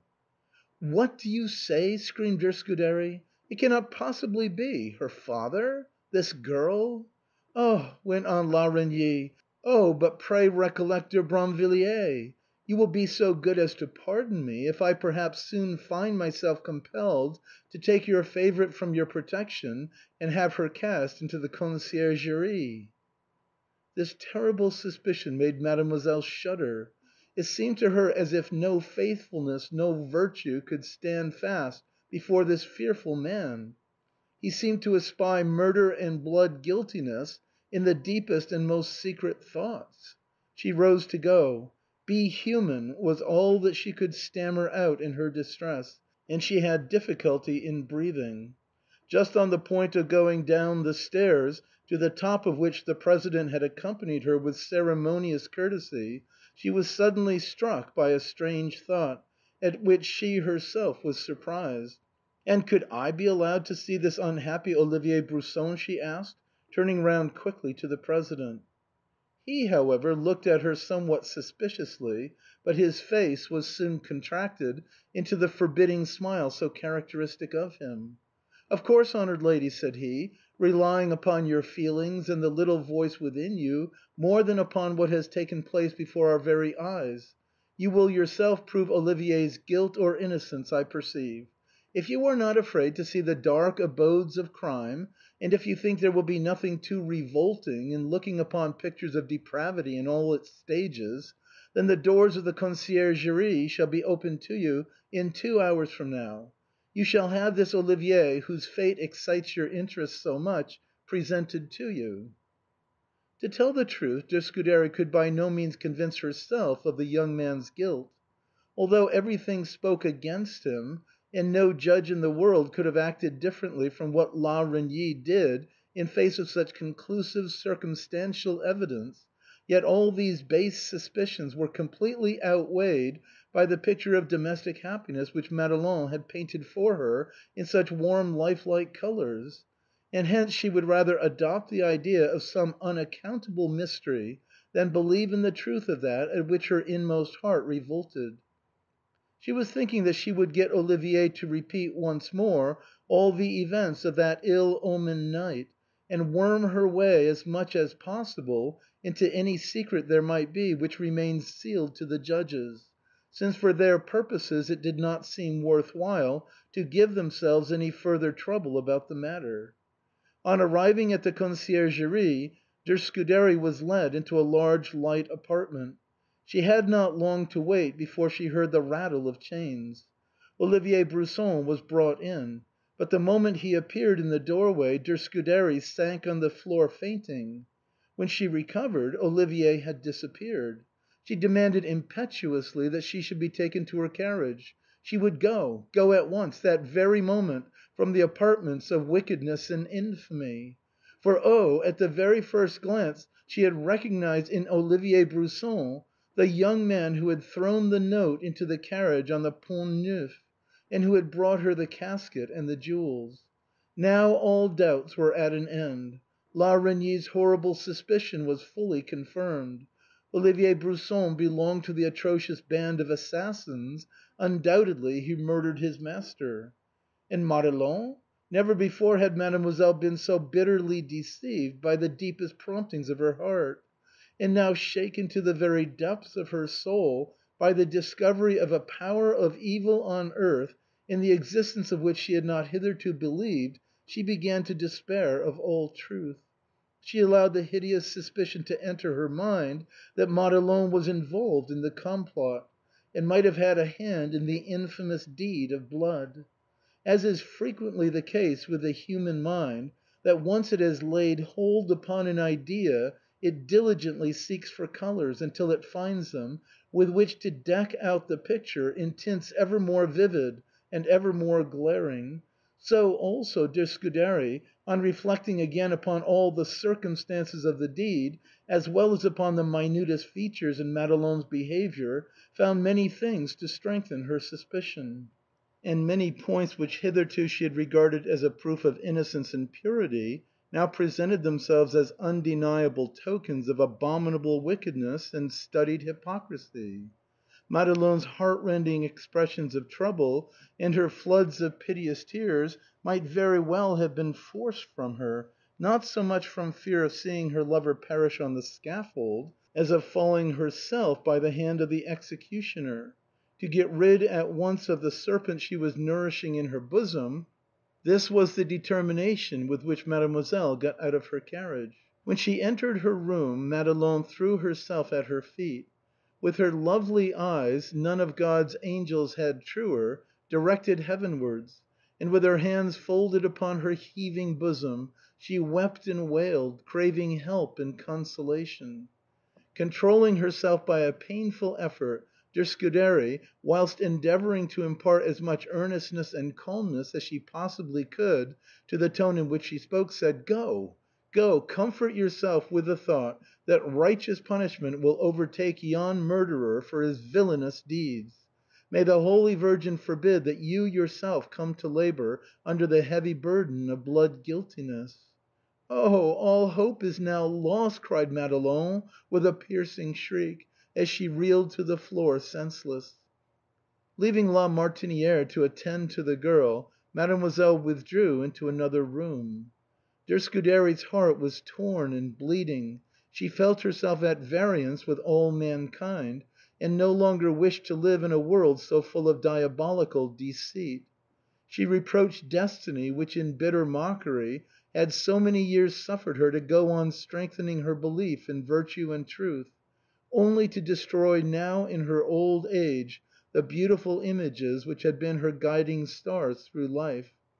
She heard Martiniere lead away Madelon, who was sighing softly and lamenting. " Alas! and she — she too — these cruel men have infatuated her.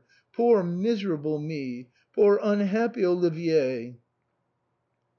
The tones of her voice cut de Scuderi to the heart. Again there stirred in the depths of her soul a dim presentiment that there was some mystery connected with the case, and also the belief in Olivier's innocence returned. Her mind distracted by the most contradictory feelings, she cried, " What spirit of darkness is it which has entangled me in this terrible affair? I am certain it will be the death of me." At this juncture Baptiste came in, pale and terrified, with the announcement that Desgrais was at the door. Ever since the trial of the infamous La Voisin, the appearance of Desgrais at any house was the sure precursor of some criminal charge. Hence came Baptiste's terror, and therefore it was that Mademoiselle asked him with a gracious smile, " What's the matter with you, Baptiste? The name Scuderi has been found on La Voisin's list, has it not, eh ?""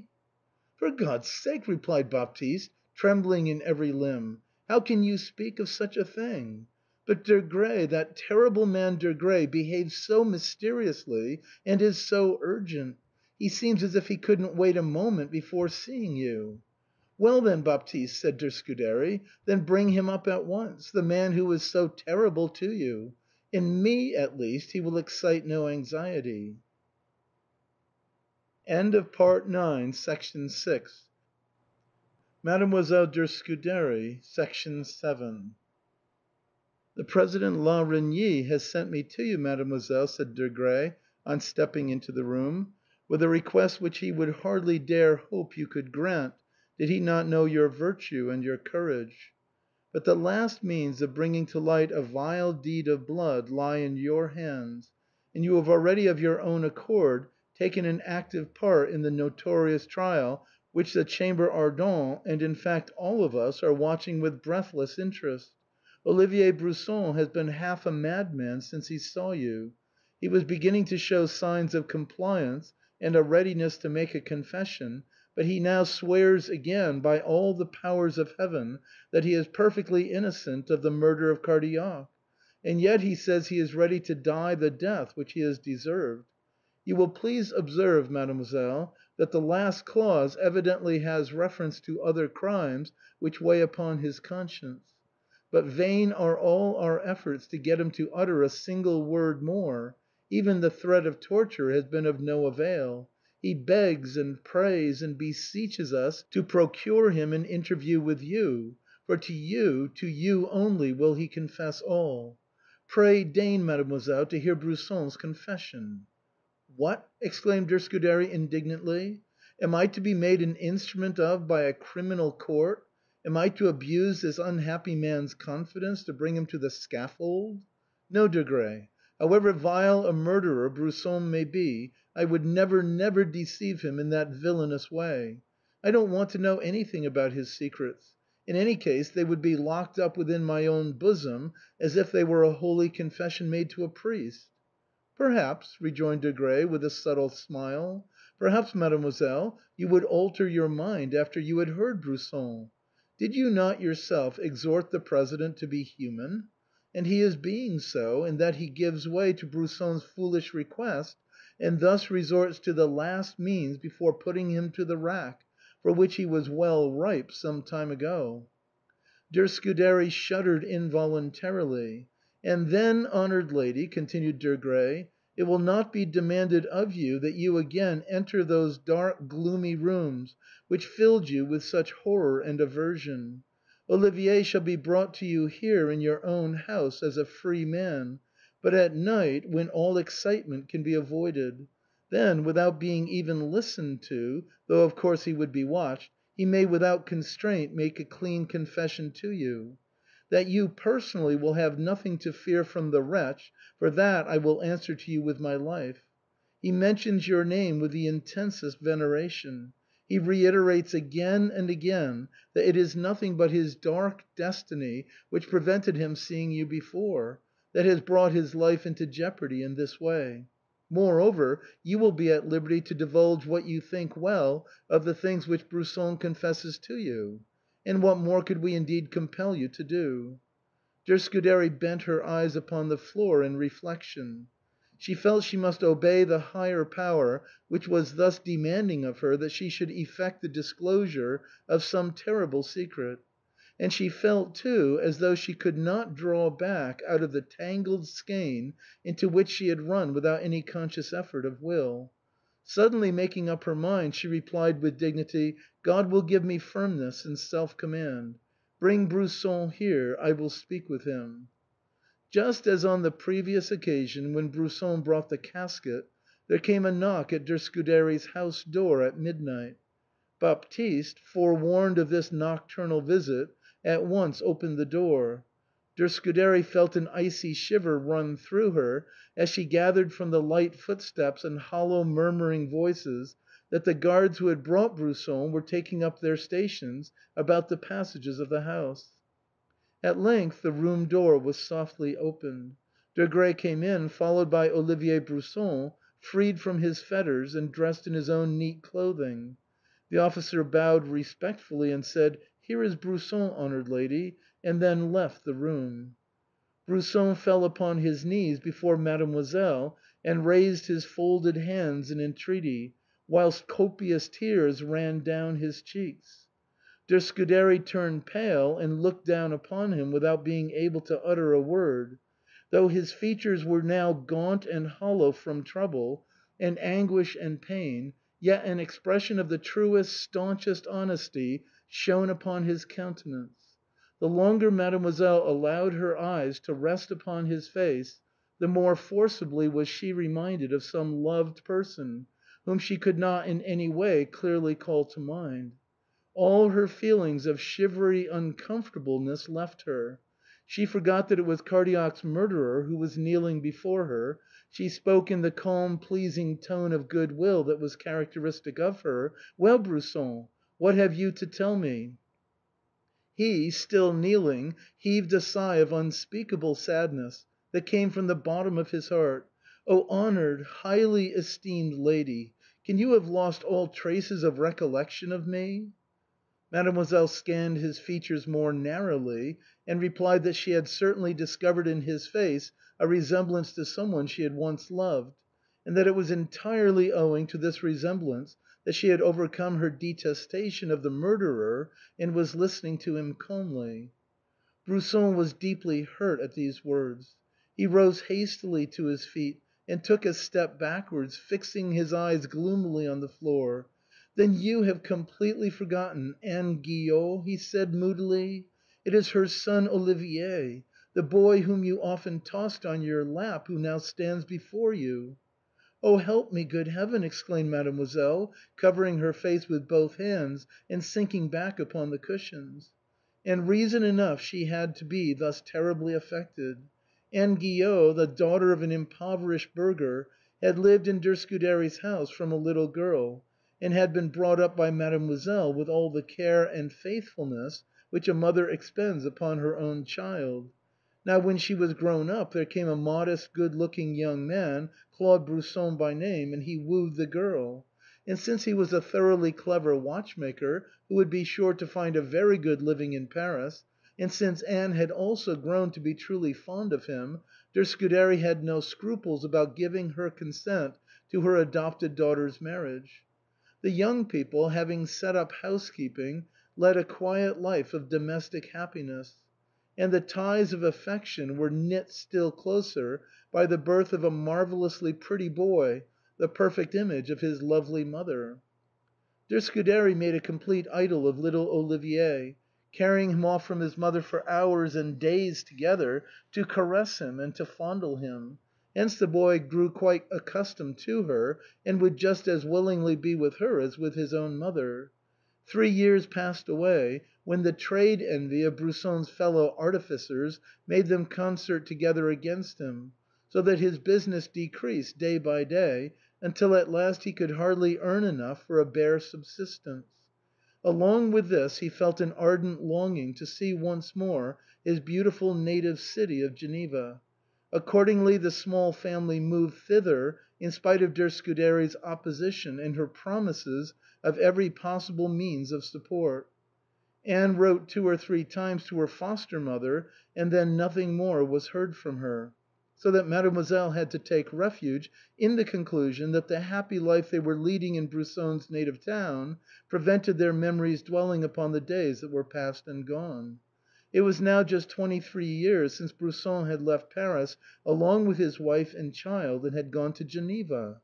" Oh, horrible !" exclaimed de Scuderi, when she had again recovered herself to some extent. " Oh, horrible! Are you Olivier, my Anne's son? And now "" Indeed, honored lady," replied Olivier, calmly and composedly, " indeed you never could, I suppose, have any the least idea that the boy whom you fondled with all a mother's tenderness, into whose mouth you never tired of putting sweets and candies as you tossed him on your lap, whom you called by the most caressing names, would, when grown up to be a young man, one day stand before you accused of an atrocious crime.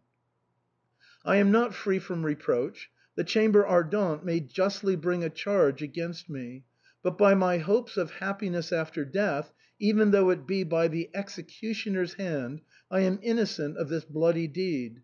The unhappy Cardillac did not perish through me, nor through any guilty connivance on my part." So saying, Olivier began to shake and tremble. Mademoiselle silently pointed to a low chair which stood beside him, and he slowly sank down upon it. " I have had plenty of time to prepare myself for my interview with you," he began, " which I regard as the last favor to be granted me by Heaven in token of my reconciliation with it; and I have also had time enough to gain what calmness and composure are needful in order to relate to you the history of my fearful and unparalleled misfortunes. I entreat your pity, that you will listen calmly to me, however much you may be surprised, nay, even struck with horror, by the disclosure of a secret which I am sure you have never for a moment suspected. Oh! that my poor father had never left Paris. As far back as my recollections of Geneva go, I remember how I felt the tears of my unhappy parents falling upon my cheeks, and how their complaints of misery, which I did not understand, provoked me also to tears. Later I experienced to the full, and with keen consciousness, in what a state of crushing want and of deep distress my parents lived. My father found all his hopes deceived. He died bowed to the earth with pain, and broken with trouble, immediately after he had succeeded in placing me as apprentice to a goldsmith. My mother talked much about you. She said she would pour out all her troubles to you, but then she fell a victim to that despondency which is born of misery. That, and also a feeling of false shame, which often preys upon a deeply wounded spirit, prevented her from taking any decisive step. Within a few months after my father's death my mother followed him to the grave." " Poor Anne! poor Anne !" exclaimed Mademoiselle, quite overcome by sorrow. " All praise and thanks to the eternal power of Heaven that she is gone to the better land. She will not see her darling son, branded with shame, fall by the hand of the executioner," cried Olivier aloud, casting his eyes upwards with a wild unnatural look of anguish. The police grew uneasy outside; footsteps passed to and fro. " Ho! ho !" said Olivier, smiling bitterly, " Desgrais is waking up his myrmidons. As though I could make my escape here. But to continue. I led a hard life with my master, albeit I soon got to be the best workman, and at last even surpassed my master himself. One day a stranger happened to come into our shop to buy some jewelry. When he saw a beautiful necklace which I had made, he clapped me on the shoulder in a friendly way, and said, eyeing the ornament, " Ha! in faith, my young friend, that's an excellent piece of work. To tell you the truth, I don't know who there is who could beat you, unless it were Rene Cardillac, who you know is the first goldsmith in the world. You ought to go to him; he would gladly take you into his workshop, for nobody but you could help him in his artistic labors; and on the other hand, he is the only man from whom you could learn anything." The stranger's words sank into my heart and took deep root there. I hadn't another moment's ease in Geneva; I felt a violent impulse to be gone. At last I contrived to get free from my master. I came to Paris. Rene Cardillac received me coldly and churlishly. I perceived in my purpose; he must give me some work, however insignificant it might be. I got a small ring to finish. On my taking the work to him, he fixed his keen glittering eyes upon me as if he would read the very depths of my soul. Then he said, " You are a good, clever journeyman; you may come to me and help me in my shop. I will pay you well; you shall be satisfied with me." Cardillac kept his word. I had been several weeks with him before I saw Madelon. She was at that time, if I mistake not, in the country, staying with a female relative of Cardillac's. But at length she came. Oh heaven! oh God! what did I feel when I saw the sweet angel? Has any man ever loved as I do? And now — oh! Madelon !" Olivier was so distressed he could not go on. Holding both hands before his face, he sobbed violently, but at length, fighting down with an effort the sharp pain that shook him, he went on with his story. Madelon looked upon me with friendly eyes. Her visits into the workshop grew more and more frequent. I was enraptured to perceive that she loved me. Notwithstanding the strict watch her father kept upon us, many a stolen pressure of the hand served as a token of the mutual understanding arrived at between us. Cardillac did not appear to notice anything. I intended first to win his favor, and, if I could gain my mastership, then to woo for Madelon. One day as I was about to begin work, Cardillac came to me, his face lowering darkly with anger and scornful contempt. " I don't want your services any longer," he began, " so out you go from my house this very hour, and never show yourself in my sight again. Why I can't do with you here any longer I have no need to tell you. For you, you poor devil, the sweet fruit at which you are stretching out your hand hangs too high." I attempted to speak, but he laid hold upon me with a powerful grasp and threw me out of doors, so that I fell to the floor and severely wounded my head and arm. I left the house hotly indignant, and furious with the stinging pain. At last I found a good natured acquaintance in the remotest corner of the Faubourg St. Martin, who received me into his garret. But I had neither ease nor rest. Every night I used to lurk about Cardillac's house, deluding myself with the fancy that Madelon would hear my sighing and lamenting, and that she would perhaps find a way to speak to me out of the window unheard. All sorts of confused plans were revolving in my brain, which I hoped to persuade her to carry out. Now joining Cardillac*s house in the Rue Nicaise there is a high wall, with niches and old stone figures in them, now half crumbled away. One night I was standing close beside one of these stone images, and looking up at those windows of the house which looked out upon the court enclosed by the wall. All at once I observed a light in Cardillac*s workshop. It was midnight. Cardillac never used to be awake at that hour; he was always in the habit of going to rest on the stroke of nine. My heart beat in uncertain trepidation; I began to think something might have happened, which would perhaps pave the way for me to go back into the house once more. But soon the light vanished again. I squeezed myself into the niche close to the stone figure, but I started back in dismay on feeling a pressure against me, as if the image had become instinct with life. By the dusky glimmer of the light I perceived that the stone was slowly revolving, and a dark form slipped out from behind it and went away down the street with light soft footsteps.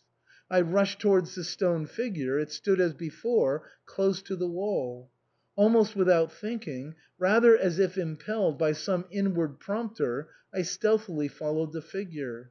Just beside an image of the Virgin he turned round; the light of the street lamp, standing exactly in front of the image, fell full upon his face. It was Cardillac. MADEMOISELLE DE SCUDERY A TALE OF THE TIMES OF LOUIS XIV An unaccountable feeling of apprehension, an unearthly dread fell upon me. Like one subject to the power of magic, I had to go on, on, in the track of the spectre like somnambulist; for that was what I took my master to be, notwithstanding that it was not the time of full moon, when this visitation is wont to attack the sleeper. Finally Cardillac disappeared into the deep shade on the side of the street. By a sort of low involuntary cough, which, however, I knew well, I gathered that he was standing in the entry to a house. " What is the meaning of that? What is he going to do ?" I asked myself, utterly astounded, pressing close against a house wall. It was not long before a man came along with fluttering plumes and jingling spur, singing and gaily humming an air. Like a tiger leaping upon his prey, Cardillac burst out of his lurking place and threw himself upon the man, who that very same instant fell to the ground gasping in the agonies of death. I rushed up with a cry of horror; Cardillac was stooping over the man, who lay on the floor. " Master Cardillac, what are you doing ?" I shouted. " Cursed fool !" growled Cardillac, running past me with lightning like speed, and disappearing from sight. Quite upset, and hardly able to take a step, I approached the man who had been stabbed. I knelt down beside him.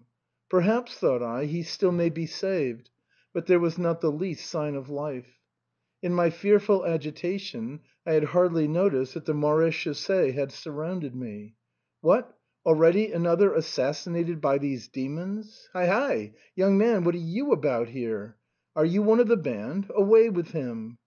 Thus they cried one after another, and they laid hold of me. I was scarcely able to stammer out that I should never be capable of such an abominable deed, and that they might therefore let me go my way in peace. Then one of them turned his lamp upon my face and said, laughing, " Why, it's Olivier Brisson, the journeyman goldsmith, who works for our worthy, honest master Rene Cardillac. Ay, I should think so! He murder people in the street! He looks like it indeed. It's just like murderous assassins to stoop lamenting over the victim's corpse till somebody comes and takes them into custody. Well, how was it, youngster? Speak out boldly." " A man sprang out immediately in front of me," I said, " and threw himself upon this man and stabbed him, and then ran away as quick as lightning when I shouted out. I only wanted to see if the stabbed man might still be saved." " No, my son," cried one of those who had taken up the corpse, " he's dead enough; the dagger has gone right through the heart as usual." " The devil !" said another, " we have come too late again, as we did yesterday." Thereupon they went their way, taking the corpse with them. What my feelings were I cannot attempt to describe. I felt myself to make sure whether I were not being mocked by some hideous dream. I fancied I must soon wake up and wonder at the preposterous delusion. Cardillac, the father of my Madeleine, an atrocious murderer! My strength failed me; I sank down upon the stone steps leading up to a house. The morning light began to glimmer and was stronger and stronger. An officer's hat decorated with feathers lay before me on the pavement. I saw again vividly Cardillac*s bloody deed, which had been perpetrated on the spot where I sat. I ran off horrified. I was sitting in my garret, my thoughts in a perfect whirl, Nay, I was almost bereft of my senses when the door opened, and Rene Cardillac came in. " For God's sake, what do you want ?" I exclaimed on seeing him. Without heeding my words he approached close to me, smiling with calmness and an air of affability which only increased my inward abhorrence. Pulling up a rickety old stool and taking his seat upon it close beside me, for I was unable to rise from the heap of straw upon which I had thrown myself, he began, " Well, Olivier, how are you getting on, my poor fellow? I did indeed do an abominably rash thing when I turned you out of the house. I miss you at every step and turn. I have got a piece of work on hand just now which I cannot finish without your help. How would it be if you came back to work in my shop? Have you nothing to say? Yes, I know I have insulted you. I will not attempt to conceal it from you that I was angry on account of your love making to my Madelon; but since then I have ripely reflected upon the matter, and decided that, considering your skill and industry and faithful honesty, I could not wish for any better son in law than you. So come along with me and see if you can win Madelon to be your bride." Cardillac*s words cut me to the very heart.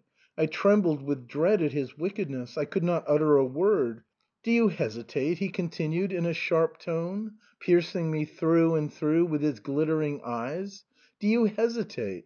Perhaps you can't come along with me just to day? Perhaps you have some other business on hand?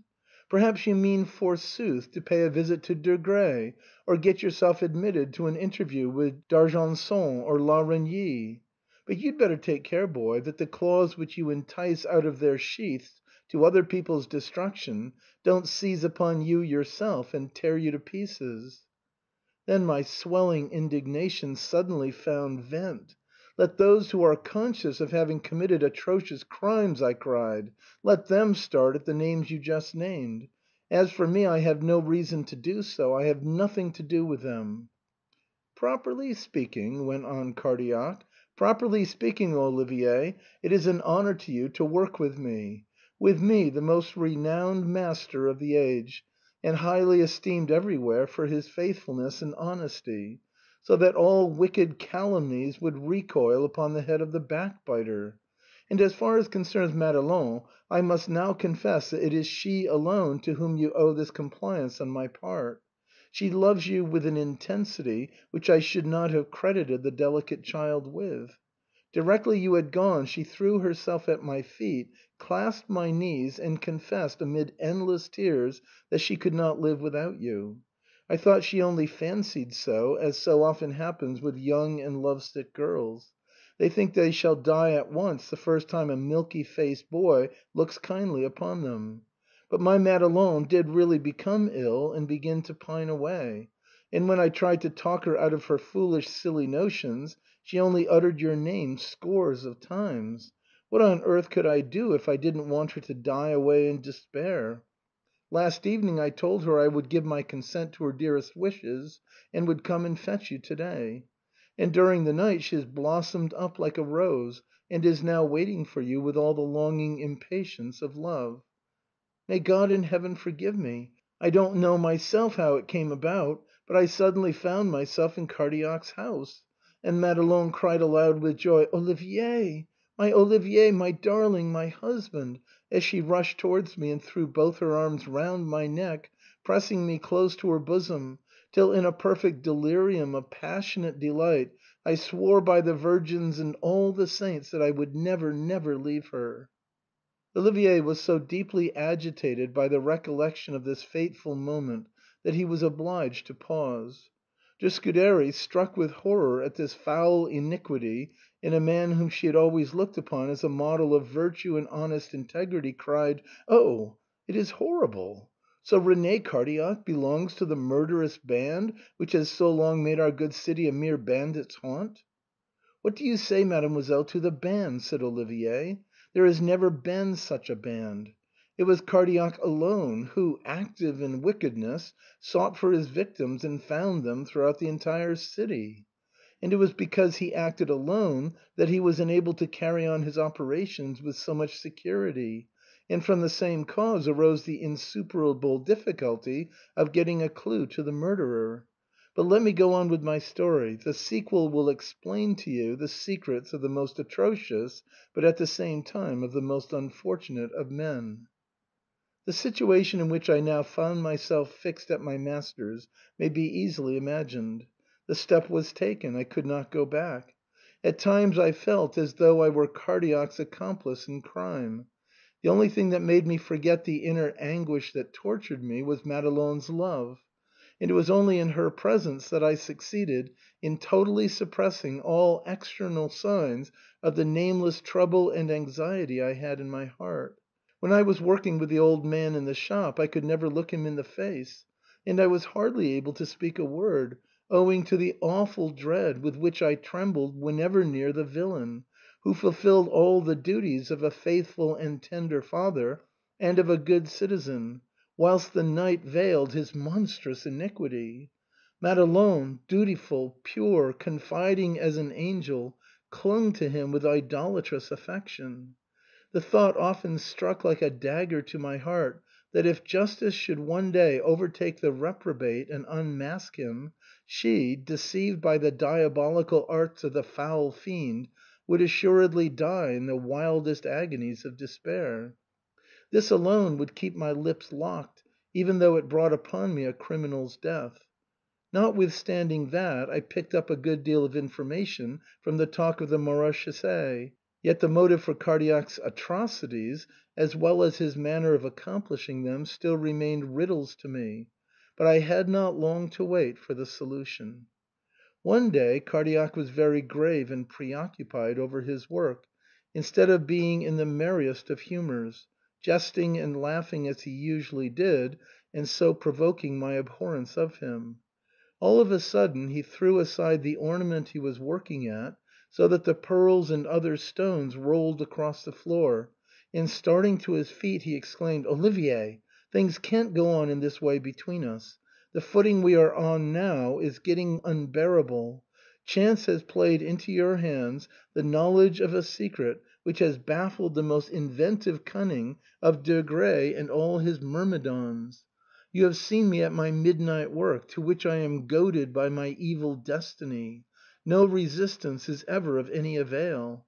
And your evil destiny it was which led you to follow me, which wrapped you in an impenetrable veil and gave you the lightness of foot which enabled you to walk as noiselessly as the smallest insect, so that I, who in the blackest night see as plainly as a tiger and hear the slightest noise, the humming of midges, far away along the streets, did not perceive you near me. Your evil star has brought you to me, my associate. As you are now circumstanced there can be no thought of treachery on your part, and so you may now know all." " Never, never will I be your associate, you hypocritical reprobate !" I endeavoured to cry out; but I felt a choking sensation in my throat, caused by the dread which came upon me as Cardillac spoke. Instead of speaking words I only gasped out certain unintelligible sounds. Cardillac again sat down on his bench, drying the perspiration from his brow. He appeared to be fearfully agitated by his recollections of the past, and to have difficulty in preserving his composure; but at length he began.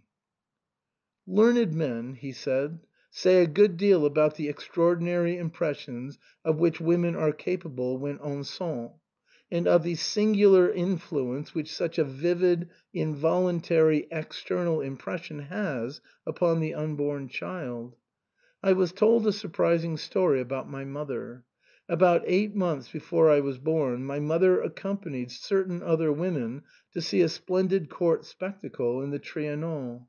There her eyes fell upon a cavalier wearing a Spanish costume, who wore a flashing jewelled chain round his neck, and she could not keep her eyes off it. Her whole being was concentrated into desire to possess the glittering stones, which she regarded as something of supernatural origin. Several years previously, before my mother was married, the same cavalier had paid his insidious addresses to her, but had been repulsed with indignant scorn. My mother knew him again, but now by the gleam of the brilliant diamonds he appeared to her to be a being of a higher race, the paragon of beauty. He noticed my mother's looks of ardent desire; he believed he should now be more successful than formerly; he found means to approach her, and yet more to draw her away from her acquaintances to a retired place; then he clasped her passionately in his arms whilst she laid hold of the handsome chain; but in that moment the cavalier reeled backwards, dragging my mother to the ground along with him. Whatever was the cause, whether he had a sudden stroke, or whether it was due to something else — enough, the man was dead. All my mother's efforts to release herself from the stiffened arms of the corpse proved futile; his glazed eyes, their faculty of vision now extinguished, were fixed upon her, and she lay on the ground with the dead man. At length her piercing screams for help reached the ears of some people passing at a distance; they hurried up and freed her from the arms of her ghastly lover. The horror prostrated her in a serious illness; her life, and mine too, was despaired of; but she recovered, and her accouchement was more favourable than could have been expected. But the terror of that fearful moment had left its stamp upon me. The evil star of my destiny had got in the ascendant, and shot down its sparks upon me, enkindling in me a most singular but at the same time a most pernicious passion. Even in the earliest days of my childhood there was nothing I thought so much of as I did of flashing diamonds and ornaments of gold.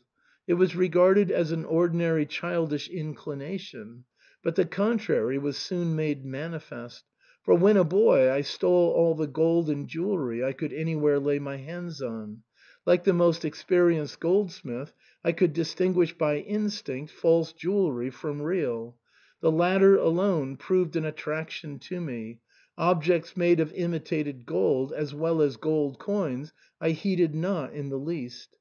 My inborn propensity had, however, to give way to the excessively cruel thrashings which I received at my father's hand. MADEMOISELLE DE SCUDERY A TALE FROM THE TIMES OF LOUIS XIV. I ADOPTED the trade of a goldsmith merely that I might be able to handle gold and precious stones. I worked with passionate enthusiasm, and soon became the first master in the craft. But now began a period in which my innate propensity, so long repressed, burst forth with vehemence and grew most rapidly, imbibing nourishment from everything about it. So soon as I had completed a piece of jewellery and had delivered it up to the customer, I fell into a state of unrest, of desperate disquiet, which robbed me of sleep and health and courage for my daily life. Day and night the person for whom I had done the work stood before my eyes like a spectre, adorned with my jewellery, whilst a voice whispered in my ears, " Yes, it's yours; yes, it's yours; go and take it. What does a dead man want diamonds for ?" Then I began to practise thievish arts. As I had access to the houses of the great, I speedily turned every opportunity to good account; no lock could baffle my skill; and I soon had the object which I had made in my hands again. But after a time even that did not banish my unrest. That unearthly voice still continued to make itself heard in my ears, mocking me to scorn and crying, " Ho! ho! a dead man is wearing your jewellery." By some inexplicable means which I do not understand, I began to conceive an unspeakable hatred of those for whom I made my ornaments. Ay, deep down in my heart there began to stir a murderous feeling against them, at which I myself trembled with apprehension.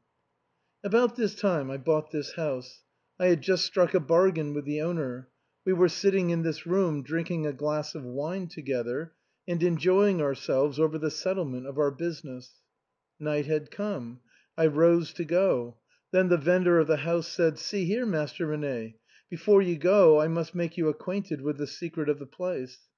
Therewith he unlocked that press let into the wall there, pushed away the panels at the back, and stepped into a little room, where, stooping down, he lifted up a trap door.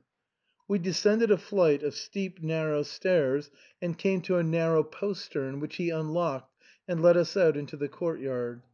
Then the old gentleman, the previous owner of the house, stepped up to the wall and pressed an iron knob, which projected only very triflingly from it. Immediately a portion of the wall swung round, so that a man could easily slip through the opening, and in that way gain the street. I will show you the neat contrivance some day, Olivier. Very likely it was constructed by the cunning monks of the monastery which formerly stood on this site, in order that they might steal in and out secretly. It is a piece of wood, plastered with mortar and whitewashed on the outside only, and within it, on the side next the street, is fixed a statue, also of wood, but coloured to look exactly like stone, and the whole piece, together with the statue, moves upon concealed hinges. Dark thoughts swept into my mind when I saw this contrivance. It appeared to have been built with a predestined view to such deeds as yet remained unknown to myself. I had just completed a valuable ornament for a courtier, and knew that he intended it for an opera dancer. The ominous torture assailed me again, the spectre dogged my footsteps, the whispering fiend was at my ear. I took possession of my new house; I tossed sleeplessly on my couch, bathed in perspiration, caused by the hideous torments I was enduring. In imagination I saw the man gliding along to the dancer's abode with my ornament. I leapt up, full of fury, threw on my mantle, went down by the secret stairs, through the wall, and into the Rue Nicaise. He is coming along; I throw myself upon him; he screams out, but I have seized him fast from behind and driven my dagger right into his heart. The ornament is mine. This done, I experienced a calmness, a satisfaction in my soul which I had never yet experienced. The spectre had vanished, the voice of the fiend was still. Now I knew what my evil destiny wanted; I had either to yield to it or to perish. And now, too, you understand the secret of all my conduct, Olivier. But do not believe, because I must do that for which there is no help, that therefore I have entirely lost all sense of pity, of compassion, which is said to be one of the essential properties of human nature. You know how hard it is for me to part with a finished piece of work, and that there are many for whom I refuse to work at all, because I do not wish their death. And it has also happened that when I felt my spectre would have to be exorcised on the following day by blood, I have satisfied it with a stout blow of the fist the same day, which stretched on the ground the owner of my jewel, and delivered the jewel itself into my hand. Having told me all this, Cardillac took me into his secret vault, and granted me a sight of his jewel cabinet, and the King himself has not one finer. A short label was attached to each article, stating accurately for whom it was made, when it was recovered, and whether by theft, or by robbery from the person accompanied with violence, or by murder. Then Cardillac said in a hollow and solemn voice, " On your wedding day, Olivier, you will have to lay your hand on the image of the crucified Christ, and swear a solemn oath that after I am dead you will reduce all these riches to dust, through means which I shall then, before I die, disclose to you. I will not have any human creature, and certainly neither Madelon nor you, come into possession of this blood bought treasure store." Entangled in this labyrinth of crime, and with my heart lacerated by love and abhorrence, by rapture and horror, I might be compared to the condemned mortal whom a lovely angel is beckoning upwards with a gentle smile, whilst on the other hand Satan is holding him fast in his burning talons, till the good angel's smiles of love, in which are reflected all the bliss of the highest heaven, become converted into the most poignant of his miseries. I thought of flight, ay, even of suicide; but Madelon!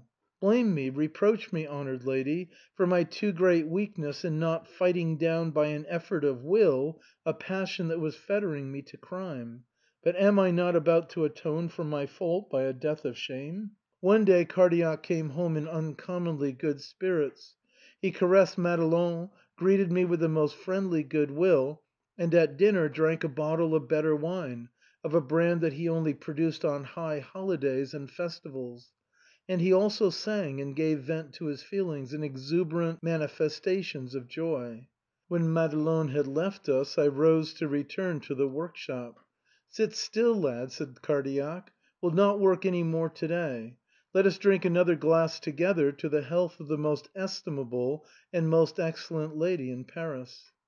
After I had joined glasses with him and had drained mine to the bottom, he went on, " Tell me, Olivier, how do you like these verses ?* Un amant qui craint le voyou N'est point digne d'amour.' " Then he went on to relate the episode between you and the King in De Maintenon's salons, adding that he had always honored you as he never had any other human creature, and that you were gifted with such lofty virtue as to make his ill omened star of destiny grow pale; and that if you were to wear the handsomest ornament he ever made, it would never provoke in him either an evil spectre or murderous thoughts. " Listen now, Olivier," he said, " what I have made up my mind to do. A long time ago I received an order for a necklace and a pair of bracelets for Henrietta of England, and the stones were given me for the purpose. The work turned out better than the best I had ever previously done; but my heart was torn at the thought of parting from the ornaments, for they had become my pet jewels. You are aware of the Princess's unhappy death by sinister means. The ornaments I retained, and will now send them to Mademoiselle de Scudéry in the name of the persecuted band of robbers, as a token of my respect and gratitude. Not only will Mademoiselle receive an eloquent token of her triumph, but I shall also laugh Desgrais and his associates to scorn, as they deserve to be laughed at. You shall take her the ornaments." As Cardillac mentioned your name, mademoiselle, I seemed to see a dark veil thrown aside, revealing the fair bright picture of my early happy childhood days in gay and cheerful colors. A wondrous source of comfort entered my soul, a ray of hope, before which all my dark spirits faded away. Possibly Cardillac noted the effect which his words had upon me, and interpreted it in his own way.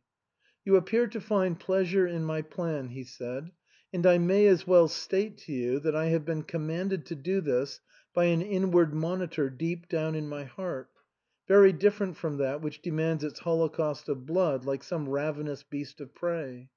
I often experience very remarkable feelings; I am powerfully affected by an inward apprehension, by fear of something terrible, the horrors of which breathe upon me in the air from a far distant world of the supernatural. I then feel even as if the crimes I commit as the blind instrument of my ill starred destiny may be charged upon my immortal soul, which has no share in them. During one such mood I vowed to make a diamond crown for the Holy Virgin in St. Eustace's church. But so often as I thought seriously about setting to work upon it, I was overwhelmed by this unaccountable apprehension, so that I gave up the project altogether. Now I feel as if I must humbly offer an acknowledgment at the altar of virtue and piety by sending to De Scuderi the handsomest ornaments I have ever worked." Cardillac, who was intimately acquainted with your habits and ways of life, mademoiselle, gave me instructions respecting the manner and the hour, the how and the when, in which I was to deliver the ornaments, which he locked in an elegant case into your hands. I was completely thrilled with delight, for Heaven itself now pointed out to me, through the miscreant Cardillac, a way by which I might rescue myself from the hellish thraldom in which I, a sinner and outcast, was slowly perishing. These, at least, were my thoughts. In express opposition to Cardillac's will, I resolved to force myself in to an interview with you. I intended to reveal myself as Anne Brusson's son, as your own adoptive child, and to throw myself at your feet and confess all — all. I knew that you would have been so touched by the overwhelming misery which would have threatened poor innocent Madelon by any disclosure that you would have respected the secret, whilst your keen sagacious mind would, I felt assured, have devised some means by which Cardillac's infamous wickedness might have been prevented without any exposure. Pray do not ask me what shape these means would have taken, I do not know; but that you would save Madelon and me, of that I was most firmly convinced, as firmly as I believe in the comfort and help of the Holy Virgin. You know how my intention was frustrated that night, mademoiselle. I still cherish the hope of being more successful another time. Soon after this Cardillac seemed suddenly to lose all his good humor. He went about with a cloudy brow, fixed his eyes on vacancy in front of him, murmured unintelligible words, and gesticulated with his hands, as if warding off something hostile from him. His mind appeared to be tormented by evil thoughts. Thus he behaved during the course of one whole morning. Finally he sat down to his work table, but he soon leapt up again peevishly, and looked out of the window, saying moodily and earnestly, " I wish, after all, that Henrietta of England had worn my ornaments." These words struck terror to my heart. Now I knew that his warped mind was again enslaved by the abominable spectre of murder, and that the voice of the fiend was again ringing audibly in his ears. I saw your life was threatened by the villainous demon of murder. If Cardillac only had his ornaments in his hands again, you were saved. Every moment the danger increased. Then I met you on the Pont Neuf, and forced my way to your carriage, and threw you that note, beseeching you to restore the ornaments which you had received to Cardillac's hands at once. You did not come. My distress deepened to despair when on the following day Cardillac talked about nothing else but the magnificent ornaments which he had seen before his eyes during the night. I could only interpret that as having reference to your jewellery, and I was certain that he was brooding over some fresh murderous onslaught which he had assuredly determined to put into execution during the coming night. I must save you, even if it cost Cardillac's own life. So soon as he had locked himself in his own room after evening prayers, according to his wont, I climbed out of a window into the courtyard, slipped through the opening in the wall, and took up my station at no great distance, hidden in the deep shade. I had not long to wait before Cardillac appeared and stole softly up the street, me following him. He bent his steps towards the Rue St. Honore; my heart trembled with apprehension. All of a sudden I lost sight of him. I made up my mind to take post at your house door. Then there came an officer past me, without perceiving me, singing and gaily humming a tune to himself, as on the occasion when chance first made me a witness of Cardillac's bloody deeds. But that self same moment a dark figure leapt forward and fell upon the officer. It was Cardillac. This murder I would at any rate prevent. With a loud shout I reached the spot in two or three bounds, when, not the officer, but Cardillac, fell on the floor groaning. The officer let his dagger fall, and drawing his sword put himself in a posture for fighting, imagining that I was the murderer's accomplice. But when he saw that I was only concerned about the slain man, and did not trouble myself about him, he hurried away. Cardillac was still alive. After picking up and taking charge of the dagger which the officer had let fall, I loaded my master upon my shoulders and painfully lugged him home, carrying him up to the workshop by way of the concealed stairs. The rest you know.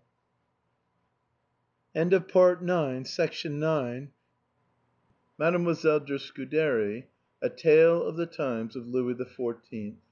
10 "You see, honored lady," went on Olivier, "that my only crime consists in the fact that I did not betray Madelon's father to the officers of the law, and so put an end to his enormities. My hands are clean of any deed of blood. No torture shall extort from me a confession of Cardillac's crimes. I will not, in defiance of the Eternal Power which veiled the father's hideous blood guiltiness from the eyes of the virtuous daughter, be instrumental in unfolding all the misery of the past, which would now have a far more disastrous effect upon her, nor do I wish to aid worldly vengeance in rooting up the dead man from the earth which covers him, nor that the executioner should now brand the mouldering bones with dishonour. No, the beloved of my heart will weep for me as one who has fallen innocent, and time will soften her sorrow, but how irretrievable a shock would it be if she learnt of the fearful and diabolical deeds of her dearly loved father!" Olivier paused. But now a torrent of tears suddenly burst from his eyes, and he threw himself at De Scuderi's feet imploringly. "Oh, now you are convinced of my innocence! Oh, surely you must be! Have pity upon me! Tell me how my Madelon bears it!" Mademoiselle summoned La Martinière, and in a few moments more Madelon's arms were round Olivier's neck. "Now all is well again since you are here. I knew it! I knew this most noble minded lady would save you!" cried Madelon again and again. And Olivier forgot his situation and all that was impending over him; he was free and happy. It was most touching to hear the two mutually pour out all their troubles, and relate all that they had suffered for one another's sake. Then they embraced one another anew, and wept with joy to see each other again. If De Scudéry had not been already convinced of Olivier's innocence, she would assuredly have been satisfied of it now as she sat watching the two, who forgot the world and their misery and their excessive sufferings in the happiness of their deep and genuine mutual affection. "No," she said to herself, "it is only a pure heart which is capable of such happy oblivion." The bright beams of morning broke in through the window. Desgrais knocked softly at the room door, and reminded those within that it was time to take Olivier Brusson away, since this could not be done later without exciting a commotion. The lovers were obliged to separate. The dim, shapeless feelings which had taken possession of De Scudéry's mind on Olivier's first entry into the room had now acquired form and content, and in a fearful way. She saw the son of her dear Anne innocently entangled in such a way that there hardly seemed any conceivable means of saving him from a shameful death. She honored the young man's heroic purpose in choosing to die under an unjust burden of guilt, rather than divulge a secret that would certainly kill his Madelon.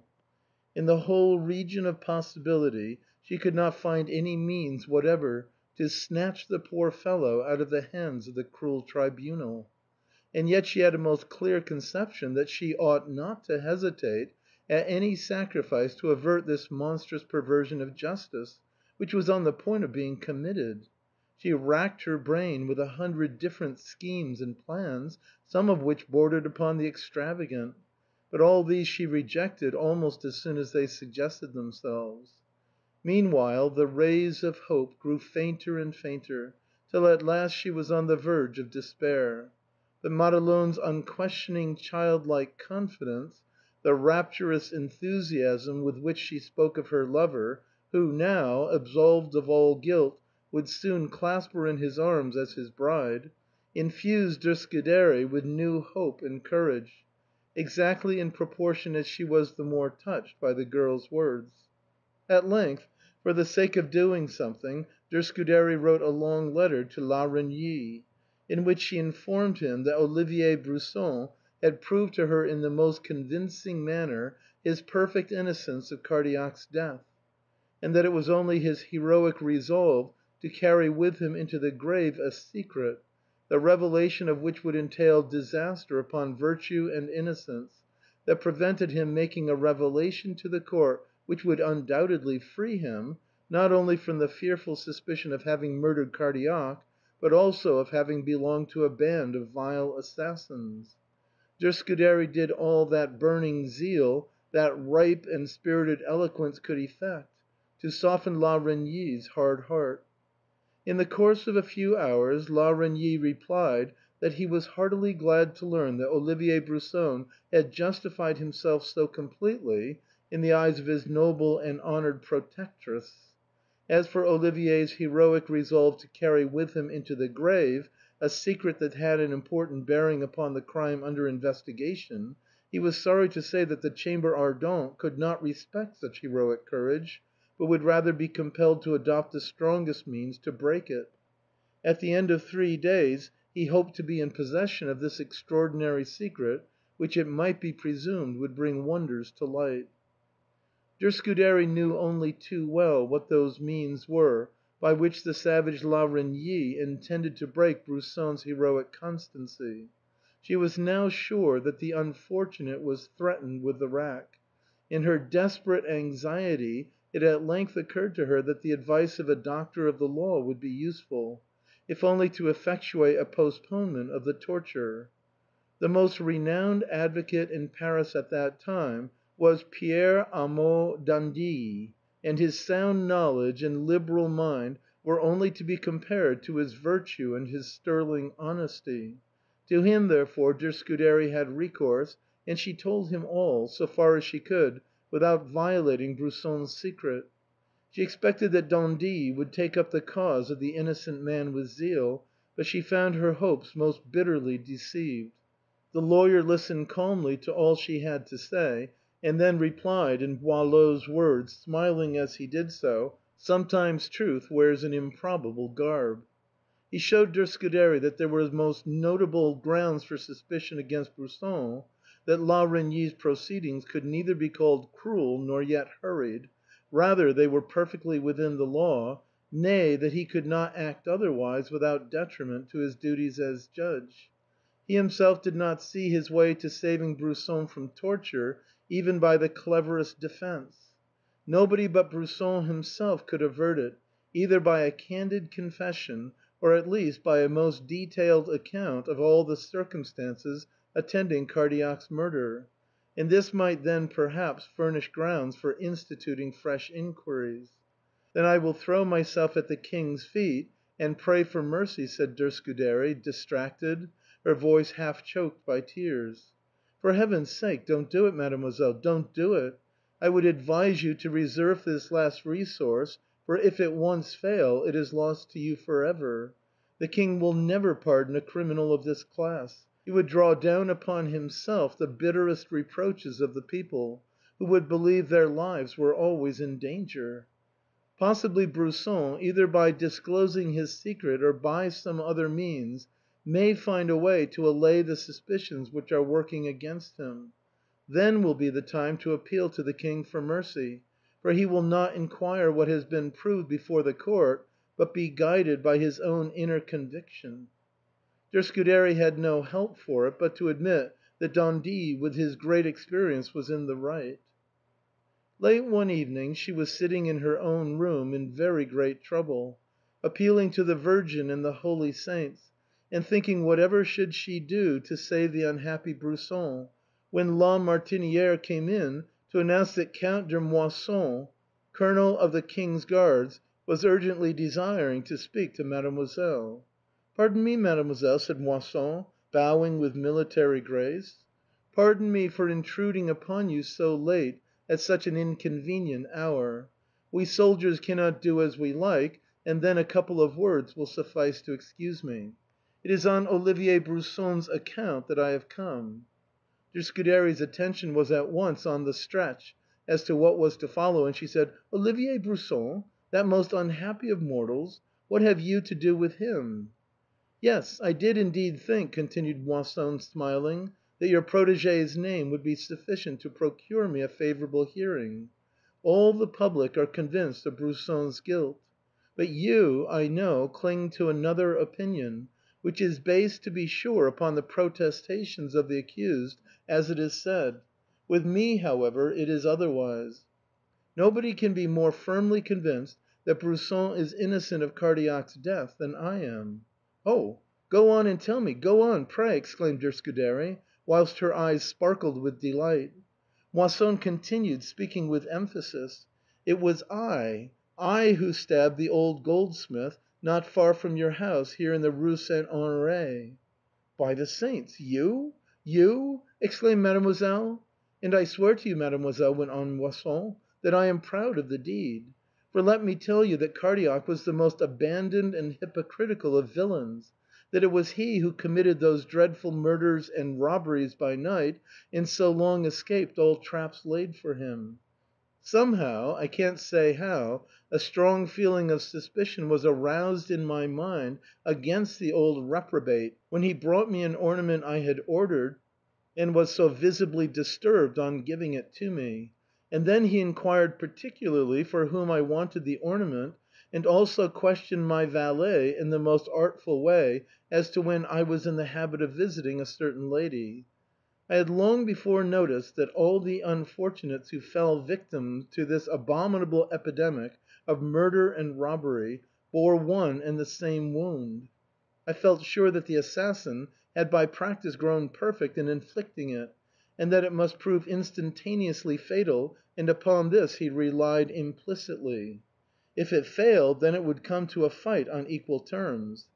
This led me to adopt a measure of precaution which is so simple that I cannot comprehend why it did not occur to others, who might then have safeguarded themselves against any murderous assault that threatened them.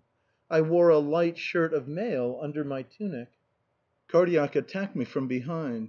He laid hold upon me with the strength of a giant, but the surely aimed blow glanced aside from the iron. That same moment I wrested myself free from his grasp, and drove my dagger, which I held in readiness, into his heart. "And you maintained silence?" asked de Scuderi. "You did not notify to the Tribunals what you had done?" "Permit me to remark, mademoiselle, that such an announcement, if it had not at once entailed disastrous results upon me, would at any rate have involved me in a most detestable trial. Would La Reynie, who ferrets out crime everywhere, would he have believed my unsupported word if I had accused honest Cardillac the pattern of piety and virtue, of an attempted murder? What if the sword of justice had turned its point against me?" "That would not have been possible," said Scuderi. "Your birth, your rank " "Oh! remember Marshal de Luxembourg, whose whim for having his horoscope cast by Lesage brought him under the suspicion of being a poisoner, and eventually into the Bastille. No, by St. Denis, I would not risk my freedom for an hour, not even the lappet of my ear, in the power of that madman La Reynie, who only too well would like to have his knife at the throats of all of us." "But do you know you are bringing innocent Brusson to the scaffold?" "Innocent!" rejoined Moisson. "Innocent! Are you speaking of the villain Cardillac's accomplice, mademoiselle, he who helped him in his evil deeds, who deserves to die a hundred deaths? No, indeed! He would meet a just end on the scaffold. I have only disclosed to you, honoured lady, the details of the occurrence on the presupposition that without delivering me into the hands of the Chamber Ardente you will yet find a way to turn my secret to account on behalf of your protégé." De Scuderi was so enraptured at finding her conviction of Brusson's innocence confirmed in such a decisive manner, that she did not scruple to tell the Count all, since he already knew of Cardillac's iniquity, and to exhort him to accompany her to see Dandin. To him all should be revealed under the seal of secrecy, and he should advise them what was to be done. After de Scuderi had related all to Dandin, down to the minutest particulars, he inquired once more about several of the most insignificant features. In particular, he asked Count Moisson whether he was perfectly satisfied that it was Cardillac who had attacked him, and whether he would be able to identify Olivier Brusson as the man who had carried away the corpse. De Moisson made answer: "Not only did I very well recognize Cardillac by the bright light of the moon, but I have also seen in La Reynie's hands the dagger with which Cardillac was stabbed. It is mine, distinguished by the elegant workmanship of the hilt. As I stood only one yard from the young man, and his hat had fallen off, I distinctly saw his features, and should certainly recognize him again." After gazing thoughtfully before him for some minutes in silence, Dandin said: "Brusson cannot possibly be saved from the hands of justice in any ordinary and regular way. Out of consideration for Madelon he refuses to accuse Cardillac of being the thievish assassin. And he must continue to do so, for even if he succeeded in proving his statements by pointing out the secret exit and the accumulated store of stolen jewellery, he would still be liable to death as a partner in Cardillac's guilt. And the bearings of things would not be altered if Count Moisson were to state to the judges the real details of the meeting with Cardillac. The only thing we can aim at securing is a postponement of the torture. Let Count Moisson go to the Conciergerie, have Olivier Brusson brought forward, and recognize in him the man who carried away Cardillac's dead body. Then let him hurry off to La Reynie and say, ' I saw a man stabbed in the Rue St. Honore, and as I stood close beside the corpse, another man sprang forward and stooped down over the dead body. But on finding signs of life in him, he lifted him on his shoulders and carried him away. This man I recognized in Olivier Brusson. This evidence would lead to another hearing of Brusson and to his confrontation with Moisson. At all events, the torture would be delayed and further inquiries would be instituted. Then will come the proper time to appeal to the King. It may be left to your sagacity, mademoiselle, to do this in the adroitest manner. As far as my opinion goes, I think it would be best to disclose to him the whole mystery. Brusson's confessions are borne out by this statement of Count Moisson, and they may perhaps be still further substantiated by secret investigations at Cardillac's own house. All this could not afford grounds for a verdict of acquittal by the court, but it might appeal to the King's feelings, that it is his prerogative to speak mercy where the judge can only condemn, and so elicit a favorable decision from his Majesty. Count Moisson followed implicitly Dandie's advice, and the result was what the latter had foreseen. MADEMOISELLE DE SCUDERY A TALE OF THE TIMES OF LOUIS XIV But now the thing was to get at the King, and this was the most difficult part of all to accomplish, since he believed that Brusson alone was the formidable assassin who for so long a time had held all Paris enthralled by fear and anxiety; and accordingly he had conceived such an abhorrence of him that he burst into a violent fit of passion at the slightest allusion to the notorious trial. De Maintenon, faithful to her principle of never speaking to the King on any subject that was disagreeable, refused to take any steps in the affair; and so Brusson's fate rested entirely in De Scuderi's hands. After long deliberation she formed a resolution, which she carried into execution as promptly as she had conceived it. Putting on a robe of heavy black silk and hanging Cardillac's valuable necklace round her neck, and clasping the bracelets on her arms, and throwing a black veil over her head, she presented herself in De Maintenon's salons at a time when she knew the King would be present there. This stately robe invested the venerable lady's noble figure with such majesty as could not fail to inspire respect, even in the mob of idle loungers who were wont to collect in ante rooms, laughing and jesting in frivolous and irreverent fashion. They all shyly made way for her, and when she entered the salon, the King himself in his astonishment rose and came to meet her. As his eyes fell upon the glitter of the costly diamonds in the necklace and bracelets, he cried, " 'Pon my soul, that's Cardillac's jewelry." Then turning to De Maintenon he added with an arch smile, " See, Marchioness, how our fair bride mourns for her bridegroom." " Oh! your Majesty," broke in De Scuderi, taking up the jest and carrying it on, " would it indeed beseem a deeply sorrowful bride to adorn herself in this splendid fashion? No, I have quite broken off with that goldsmith, and should never think about him more, were it not that the horrid recollection of him being carried past me after he had been murdered so often recurs to my mind." " What do you say ?" asked the King. " What, you saw the poor devil ?" De Scuderi now related in a few words how she chanced to be near Cardillac's house just as the murder was discovered. As yet she did not allude to Brusson's being mixed up in the matter. She sketched Madelon's excessive grief, told what a deep impression the angelic child made upon her, and described in what way she had rescued the poor girl out of Desgrais's hands amid the approving shouts of the people. Then came the scenes with La Reynie, with Durgre, with Brusson, the interest deepening and intensifying from moment to moment. The King was so carried away by the extraordinary graphic power and burning eloquence of Mademoiselle's narration that he did not perceive she was talking about the hateful trial of the abominable wretch Brusson. He was quite unable to utter a word; all he could do was to let off the excess of his emotion by an exclamation from time to time. Ere he knew where he was, he was so utterly confused by this unprecedented tale, which he had heard that he was unable to order his thoughts, De Scuderi was prostrate at his feet, imploring pardon for Olivier Brusson. What are you doing?" burst out the King, taking her by both hands and forcing her into a chair. " What do you mean, mademoiselle? This is a strange way to surprise me. Oh! it's a terrible story. Who will guarantee me that Brusson's marvellous tale is true ?" Whereupon De Scuderi replied, " Moisson's evidence, an examination of Cardillac's house, my heartfelt conviction, and oh! Madelon's virtuous heart, which recognized the like virtue in unhappy Brusson's." Just as the King was on the point of making some reply, he was interrupted by a noise at the door, and turned round. Louvois, who during this time was working in the adjoining apartment, looked in with an expression of anxiety stamped upon his features.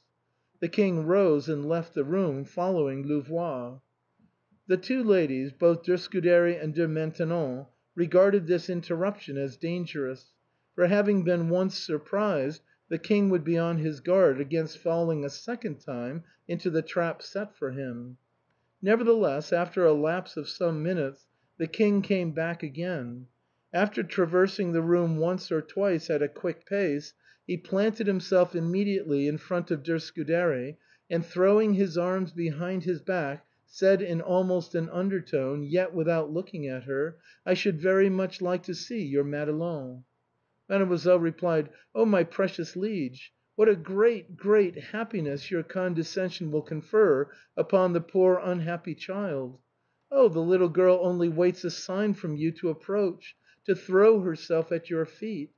Then she tripped towards the door as quickly as she was able in her heavy clothing, and called out on the outside of it that the King would admit Madelon Cardillac; and she came back into the room weeping and sobbing with overpowering delight and gladness.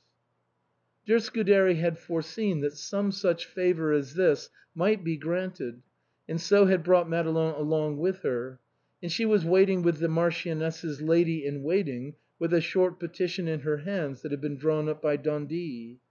After a few minutes she lay prostrate at the King's feet, unable to speak a word. The throbbing blood was driven quicker and faster through the poor girl's veins, owing to anxiety, nervous confusion, shy reverence, love, and anguish.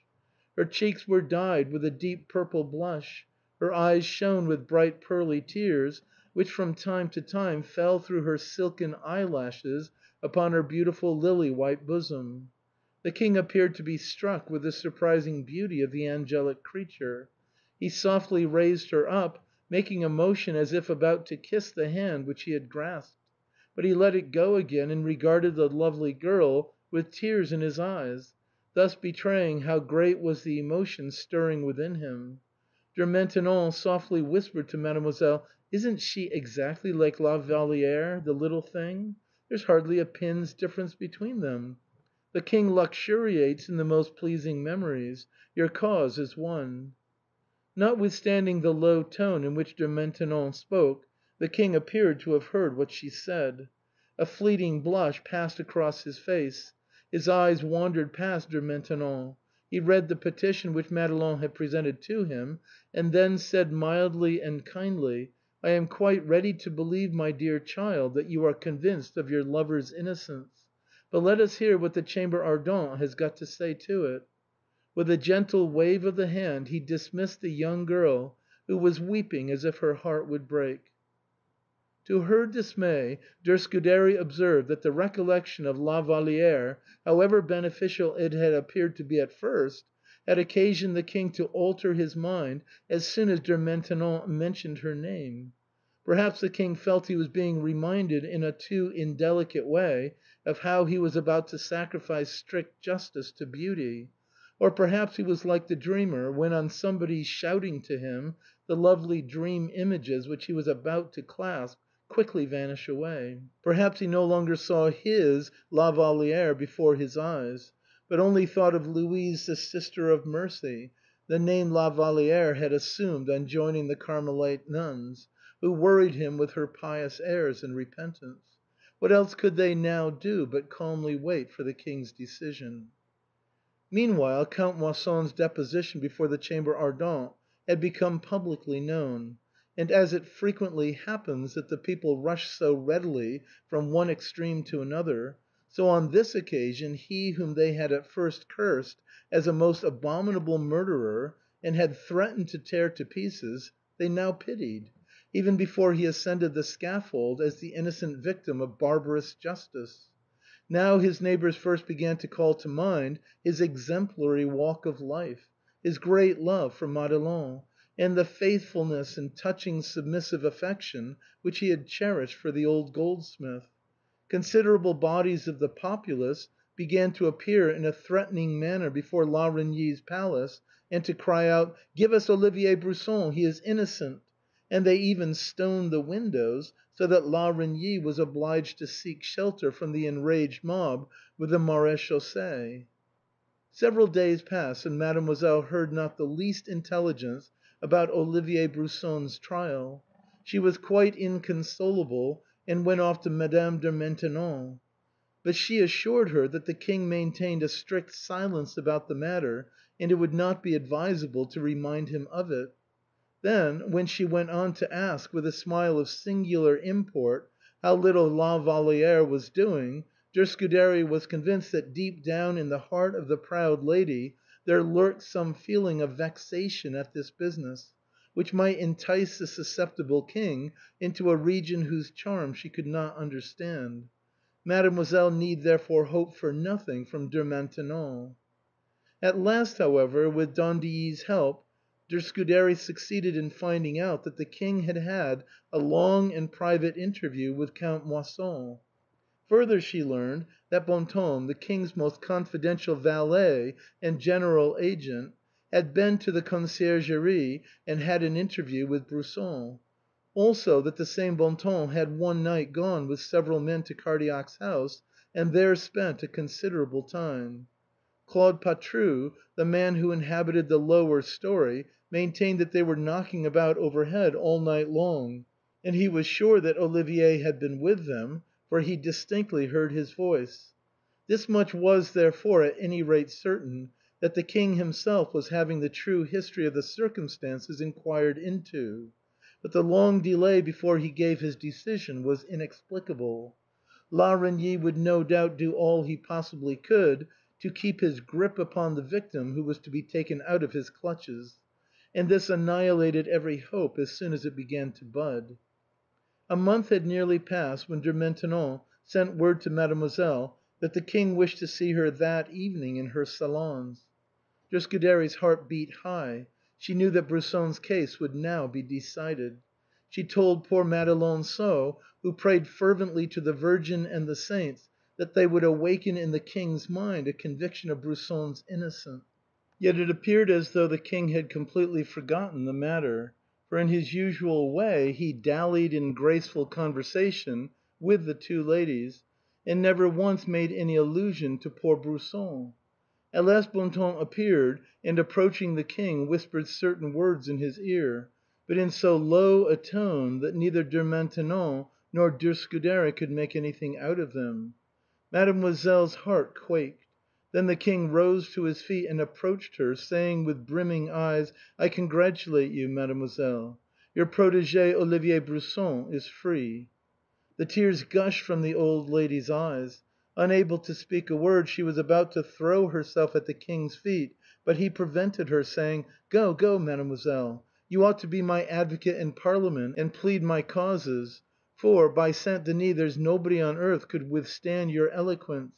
And yet," he continued, " and yet when Virtue herself has taken a man under her own protection, is he not safe from all base accusations, from the Chamber Ardente and all other tribunals in the world?"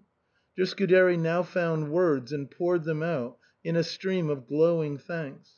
The King interrupted her by informing her that she herself would find awaiting her in her own house still warmer thanks than he had a right to claim from her; for probably at that moment the happy Olivier was clasping his Madeleine in his arms.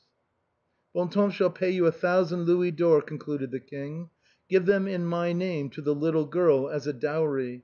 Let her marry her Brusson, who doesn't deserve such good fortune, and then let them both be gone out of Paris, for such is my will." La Martinière came running forward to meet her mistress, and Baptiste behind her. The faces of both were radiant with joy; both cried, delighted, " He is here! he is free! Oh, the dear young people !" The happy couple threw themselves at Mademoiselle's feet. " Oh, I knew it, I knew it !" cried Madelon. " I knew that you, that nobody but you, would save my darling Olivier." " And oh, my mother !" cried Olivier, " my belief in you never wavered." They both kissed the honored lady's hands and shed innumerable tears; then they embraced each other again and again, affirming that the exquisite happiness of that moment outweighed all the unutterable sufferings of the days that were past, and they vowed never to part from each other till death himself came to part them. A few days later they were united by the blessing of the priest. Even though it had not been the King's wish, Brusson would not have stayed in Paris, where everything would have reminded him of the fearful time of Cardillac's crimes, and where, moreover, some accident might reveal in pernicious wise his dark secret, now become known to several persons, and so his peace of mind might be ruined for ever. Almost immediately after the wedding he set out with his young wife for Geneva, Mademoiselle's blessings accompanying them on the way. Richly provided with means through Madelon's dowry, and endowed with uncommon skill at his trade, as well as with every virtue of a good citizen, he led there a happy life, free from care. He realized the hopes which had deceived his father and had brought him at last to his grave. A year after Brusson's departure there appeared a public proclamation, signed by Harlois de Chauvallon, Archbishop of Paris, and by the parliamentary advocate, Pierre Arnaud d'Andilly, which ran to the effect that a penitent sinner had, under the seal of confession, handed over to the Church a large and valuable store of jewels and gold ornaments which he had stolen. Everybody who up to the end of the year 1680 had lost ornaments by theft, particularly by a murderous attack in the public street, was to apply to d'Andilly, and then, if his description of the ornament which had been stolen from him tallied exactly with any of the pieces awaiting identification, and if further there existed no doubt as to the legitimacy of his claim, he should receive his property again. Many of those whose names stood on Cardillac's list as having been, not murdered, but merely stunned by a blow, gradually came one after the other to the parliamentary advocate, and received to their no little amazement their stolen property back again. The rest fell to the coffers of the Church of St. Eustace. End of Mademoiselle de Scudéri, a tale of the times of Louis the Fourteenth